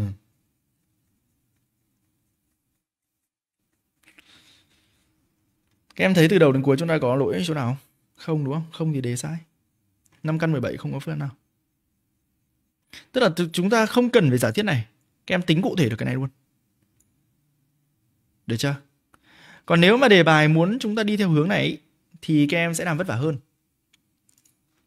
Thì thầy sẽ nói luôn này, nếu mà giả sử đề bài ấy, mà đi theo hướng kia thì các em sẽ làm vất vả hơn một tí. Đây, thầy sẽ đưa cho các bạn. Nếu mà đề bài nếu mà tiếp tục mà đi theo hướng gốc của đề bài ấy, thì chúng ta sẽ vất vả hơn đây. Thầy sẽ trình bày luôn đây cho các em xem. Nhá. Ở đây thầy nói là nếu như đề bài, nếu triển khai từ ờ, từ giả, từ đề, từ cái tìm min, tức là mình bỏ qua cái câu chuyện của đề bài phần trắc nghiệm đi. Tìm min nhá. Nếu triển khai từ tìm min, thì các em sẽ đi theo hướng này nhưng mà số nó xấu. Thầy tính ra số xấu quá, đâm ra là thầy nghĩ là đề lỗi, thầy kiểm tra lại cái câu hỏi đề bài thì thấy lỗi thật. Đây thì các em sẽ thi triển như này đấy thầy tính thì tính ra số nó xấu quá số xấu lắm ở đây các em có được module w bằng 2 thì các em có được z nhân w ngang trừ đi bằng âm 2y tại số đối liên phức điểm của nó thì các em viết rút z theo w tóm lại các em rút z theo w ngang sau đó các em thế vào đây được chưa đó thì đây em đặt w bằng x cộng y các em có điều này đây các em có x bình cộng y bình bằng ấy bằng 4 xong các em tìm min mắc của này các em tìm được đó, tìm được nhưng mà số nó xấu lắm em bỏ qua đi nhá tóm lại, đề sai nhá. Đề sai thì các em chọn phương án e.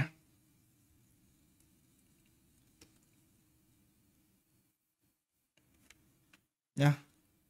Sai đề. Quanh vào e.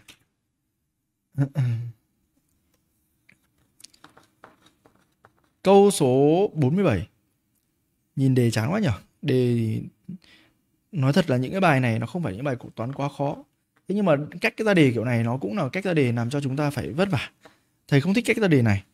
Cái tư duy bài toán nó không có nhiều, nó chỉ có kỹ năng biến đổi. Và một bài đề bài mà có quá nhiều cái việc vấn đề yêu cầu các em phải biến đổi thì thầy không thích. Thế thôi. Nhưng mà thôi, vẫn phải chữa thôi. Đề cho mà. Nào các em có f phải x bằng gì? Nó bằng gì đây? Bằng 4x mũ 5 này. Cộng với 4x mũ 4 này.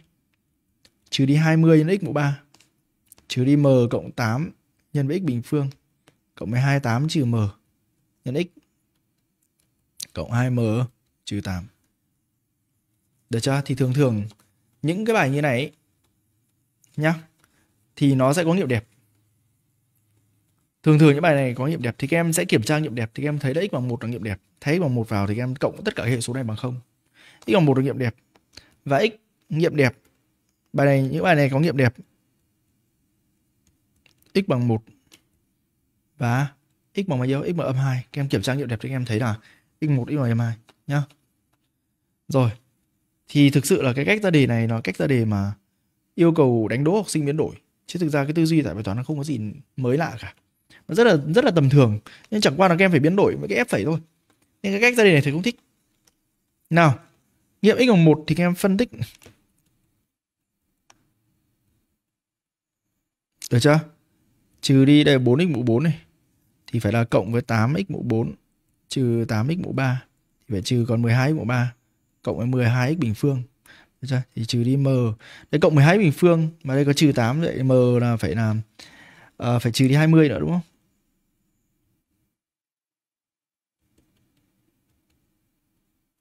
Đúng không?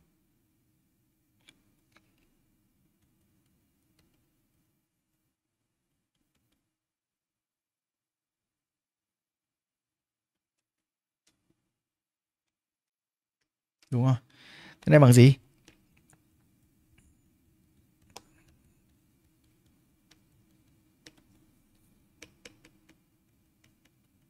Chịu khó là gì thôi các em?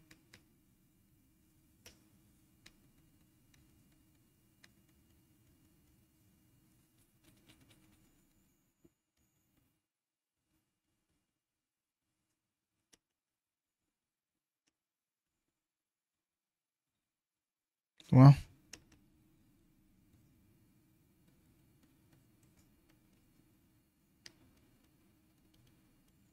Để rất chịu khó chơi hệ đánh đố. Tóm lại là các em tiếp tục các em thấy cái này trong đây có nghiệm đẹp tiếp là x bờ âm 2 nhá. X bờ âm 2 thì các em lại tiếp tục các em tách ra tóm lại các em ra được cái x cộng 2 nhân với x mũ 3 gì nữa? Trừ đi 3x trừ đi m, trừ 4 thì dùng Wolfram alpha để tính luôn cho nhanh. Được chưa? Nhá, ok nhá.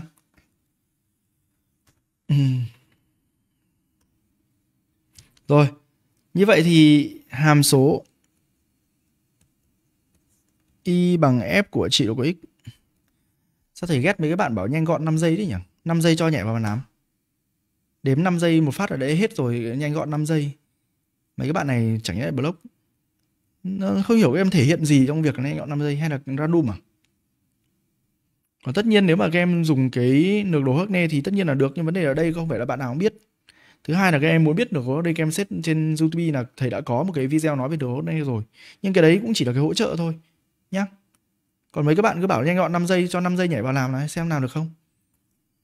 Nào hàm số y bằng f phải x nó như nào? À, có 7 điểm cực trị khi nào? Comment thể hiện không biết được hiểu không hiểu được thể hiện cái trình độ gì ở những cái comment đấy. Ừ. nào có 7 điểm cực trị thì khi khi là hàm số fx phải có 3 điểm cực trị dương?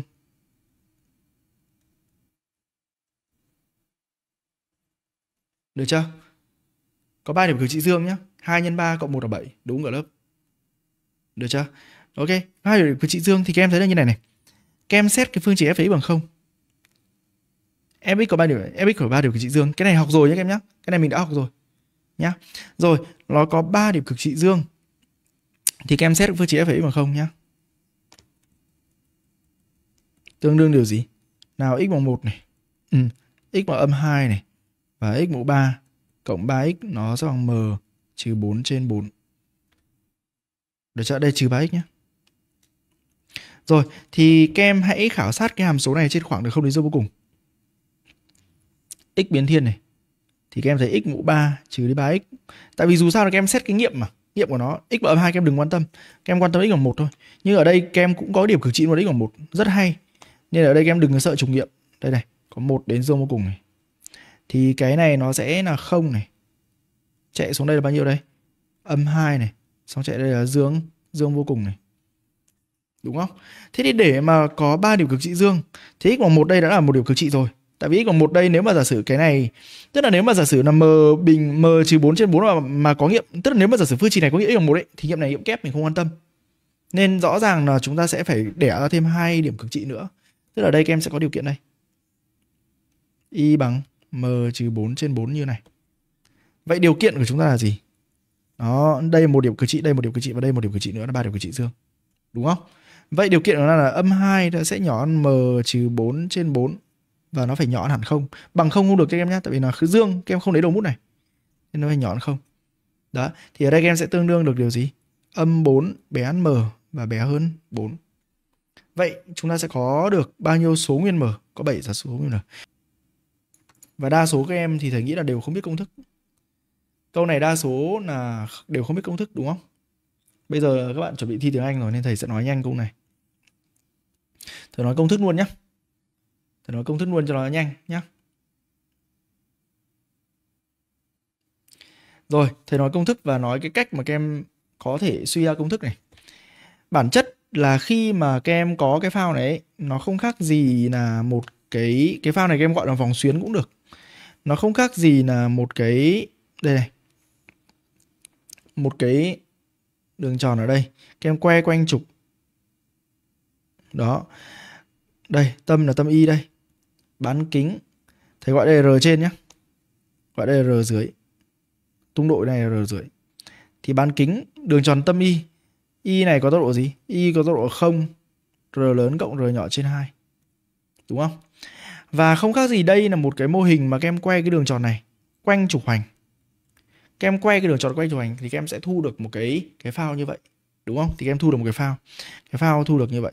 Nó nó, các em quay cái đường tròn quay trục hành đúng không? Thì các em quay đường tròn quay trục hành đó. Thì cái điểm này sẽ là cái bán kính này r nhỏ nên cái này nó sẽ là gì? Bán kính r là r lớn à không, bán kính ờ đúng rồi, điểm y có tốc độ đây. Bán kính này là bán kính r nhỏ, bán kính r nhỏ là r lớn trừ r nhỏ trên 2 đúng không? r lớn trừ r nhỏ trên 2 đến r lớn trừ r nhỏ trên 2 thì cái diện thể tích v của chúng ta được tính bởi công thức gì đó, phương trình đường tròn là x bình phương cộng với y trừ r lớn cộng r nhỏ trên 2 tất cả bình phương. Nó sẽ bằng r lớn trừ r nhỏ trên 2 tất cả bình phương. thì các em rút y theo x. Rút y theo x, sau đó các em tính tích phân. Ok, thế thì các em tính tích phân thì các em có công thức luôn. Đó, thầy nói tư duy thôi. Còn bài này nói thật đúng bạn là trong vòng thi các em nhớ là công thức là tốt nhá. Còn tư duy là như vậy thì các em rút y theo x xong các em tính đến tích phân. Thì công thức của chúng ta sẽ là như sau thầy nói luôn công thức nhé nói thật là thầy cũng chả nhớ công thức đâu trong vòng thi chắc là thầy vẫn dùng chứng minh nhưng mà bây giờ các em sắp thi tiếng anh đến nơi rồi nên những bài như này nếu bạn nào nhớ công thức thì rất là nhanh nó là như vậy r nhỏ là bán kính của cái vòng tròn nhỏ bên trong. R lớn là bán kính của vòng tròn to bên ngoài. Trong cái phao thực tế nó là như thế. Đó, với o là tâm của cái phao đây, thì các em sẽ có công thức này. Đóng khung vào. Các em hãy ở nhà các em tự chứng minh. Thầy ở đây thầy sẽ không chứng minh, nhá. Thầy chỉ gợi ý cách chứng minh thôi. Các em dùng hai cái tích phân các em trừ, nhá.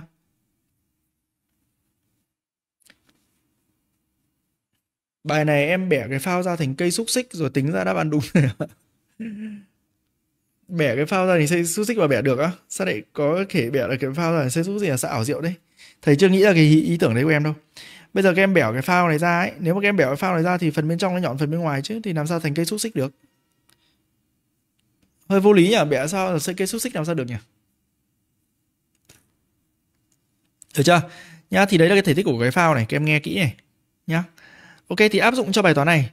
Thì các em có được là cái r lớn.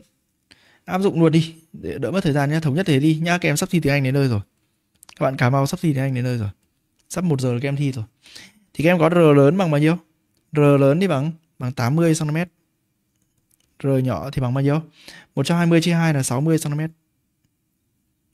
Từ đó ta suy ra V bằng gì? 1 phần 4 pi bình phương nhân với 140 nhân với 20 bình phương. Được chưa? Rồi, Casio ra. Casio thần trưởng. 1 phần 4 nhân với 140 nhân với 20 bình phương. Nó là 14.000 pi bình phương cm khối đáp án A nhá ừ. rồi, ok, thầy bỏ qua nhá thầy bỏ qua câu tiếp theo nhá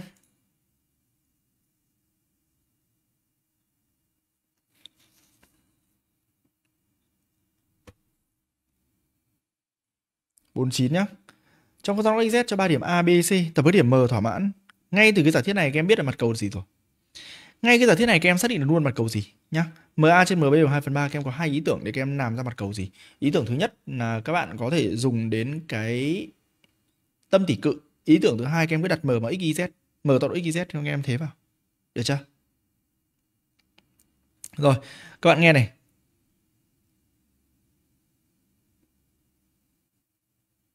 Nghe nhá. MA bằng 2MB.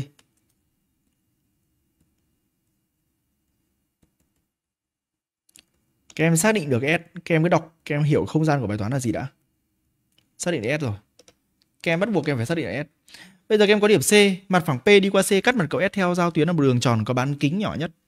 Mặt phẳng P đi qua C. Như này, đi qua C này. Khả năng C phải nằm ở trong đây, đúng không? Còn nếu mà C nằm ngoài thì cắt, thì thậm chí nó không cắt hoặc là tiếp xúc thì có vô số bán kính. C nằm trong thì chắc chắn rồi. C nằm trong đây. Thì cắt mặt cầu S theo giao tuyến là một đường tròn có bán kính nhỏ nhất. Thì rõ ràng là cái tâm của mặt cầu xác định được rồi. Bán kính mặt cầu R lớn xác định được rồi. R nhỏ, và đây là D. Các bạn sẽ có được như sau. Bán kính nhỏ nhất thì R nhỏ thì bằng căn của R lớn bình phương trừ đi D bình phương. Đúng không? Căn bậc 2 của R lớn bình phương trừ D bình phương. Được chưa? Căn bậc 2 của R lớn trừ D bình phương.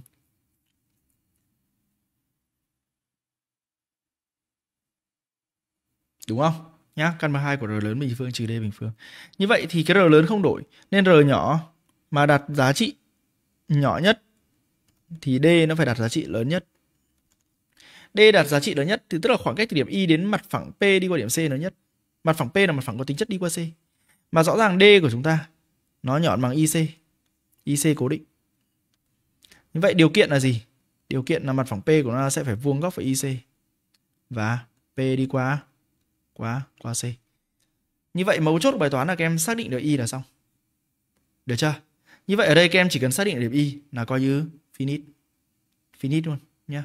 Vậy ta chỉ cần ta chỉ cần xác định y là xong.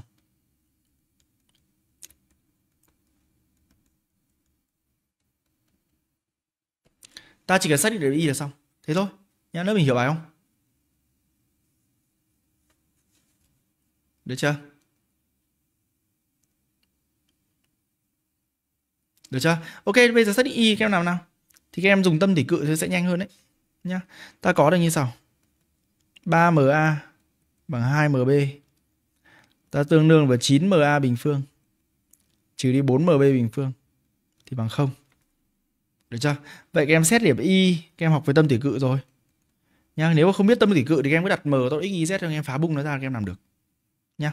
Thì ở đây các em có được là 9 lần vector ia trừ 4 lần vector ib bằng vector 0.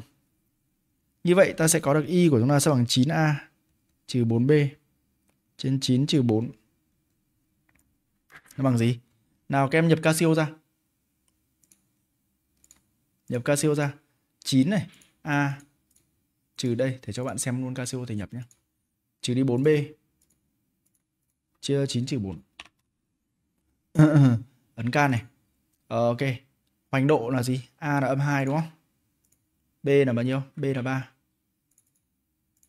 Rồi âm 6 Các em tìm y là xong rồi các em à, đến lượt hoành độ của tung độ của a là 2 tung độ b là âm 3 là 6 đến là cao độ nhá. Cao độ của a là mấy? Cao độ của a là âm 2 cao độ b là 3 nó là âm 6 nên tìm y là xong rồi. Xong rồi nhá. Sau khi tìm được y xong thì các em cũng chấm dứt được bài toán nhá. Ok. Thì có điểm C rồi, điểm Y. Mặt phẳng P là mặt phẳng gì? Mặt phẳng P là mặt phẳng đi qua điểm Y. Và vuông góc IC Đúng không? Được chưa? P đi qua Y với IC thì các em xác định phương trình mặt phẳng P nhé. Rồi, mặt phẳng P đi qua Y với IC, vector CI bằng gì? Vector CI kèm lấy Y trừ C nhá. Y trừ C nó bằng ờ, âm 6 trừ âm 5 là âm 1 này. 6 trừ 4 là 2 này. Âm 6 trừ âm 4 là âm 2. Nó cùng phương là 1 2 2, à 1 âm 2, âm 2. Mặt phẳng P đi qua. Cho phương trình mặt P là gì? Đó là 1 nhân với x cộng 6 cộng với âm 2 gọi là trừ 2 đi. Y trừ 6 trừ 2. Ở đây cộng 2 chứ nhỉ? nhấn Z cộng 6 bằng 0. Tức là các em sẽ có được x trừ 2y cộng 2z. 6 cộng 12 cộng 12 nó bằng à, um, 24. Ở đâu? Từ từ đã thầy nhầm lại.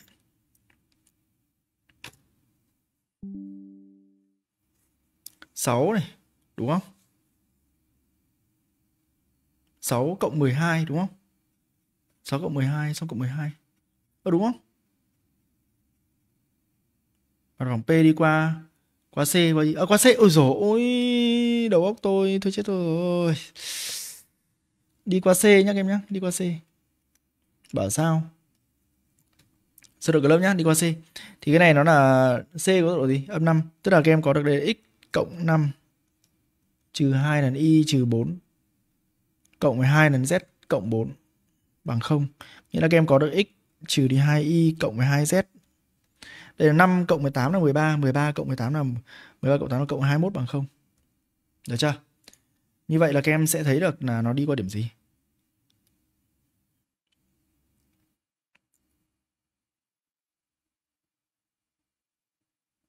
D đúng không? 156. Nào câu cuối nữa các em ơi. Ừ. Có C nhá, có C, xin lỗi các lớp. Ngược một tí. Nào câu cuối này. Xét các số thực không âm xy với y khác không và thỏa mãn điều kiện.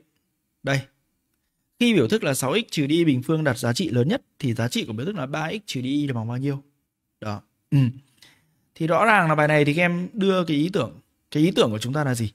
Đưa về hàm đặc trưng. Được chưa? Ý tưởng hàm đặc trưng nó không phải ý tưởng to tác gì cả. Nó là ý tưởng rất rất tự nhiên cho bài toán này.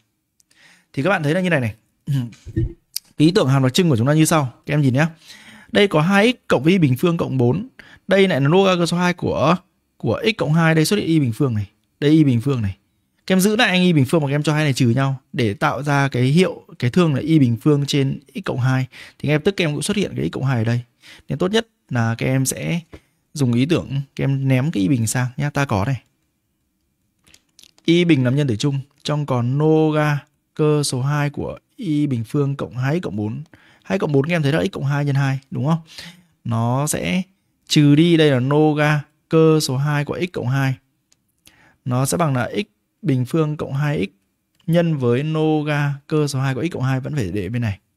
Thì cái này tương đương điều gì cả lớp? Nào, tương đương với y bình phương nhân với noga cơ số 2 của, đây là y bình phương trên x cộng 2 cộng 12. Nó sẽ bằng gì? Bằng x nhân x cộng 2 nhân noga cơ số 2 của x cộng 2. Được chưa? Thì em chia cái này x cộng 2 thì em ra được hàm đặc trưng này.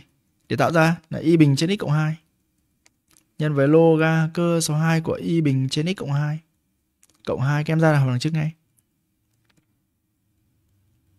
Những cái kỹ năng đưa thành hàm đặc trưng này các em phải cố gắng em biến đổi. Các em luyện tập. Nhá. Các em luyện tập, các em luyện nhiều là các em sẽ ra được hàm đặc trưng. Được chưa? Những cái kỹ năng này các em phải đi qua kỹ năng biến đổi dần. Rồi, hàm đặc trưng.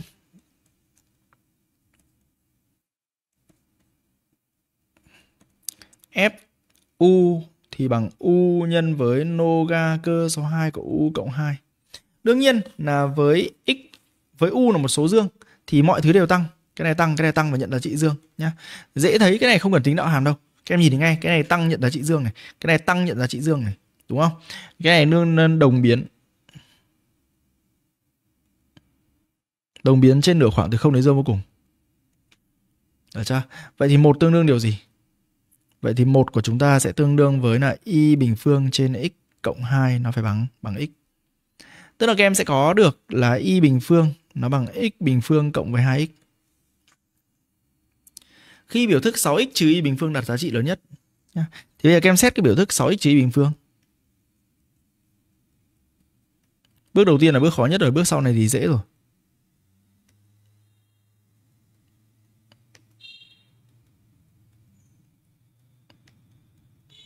Đặt giá trị lớn nhất. Được chưa? Ok, thì biểu thức là 3x trừ y thì bằng bao nhiêu?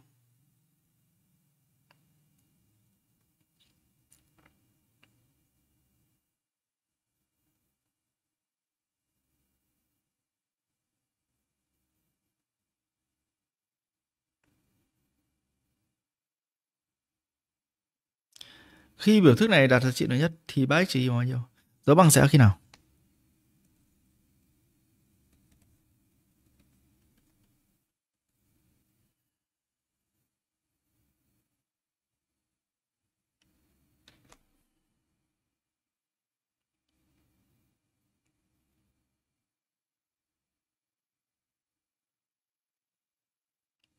Bà chỉ được không có đáp án, đúng không? Cái này để sai tiếp, đúng không? Để để sai tiếp đúng không? 3x trừ nhiều bao nhiêu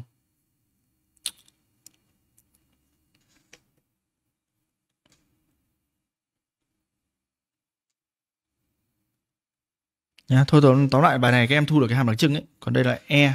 Đáp án bài toán này là e sai đề. Sai đề là sai đề gốc ấy nhá. Không phải là sai đề thầy gõ đâu. Đề gốc là sai.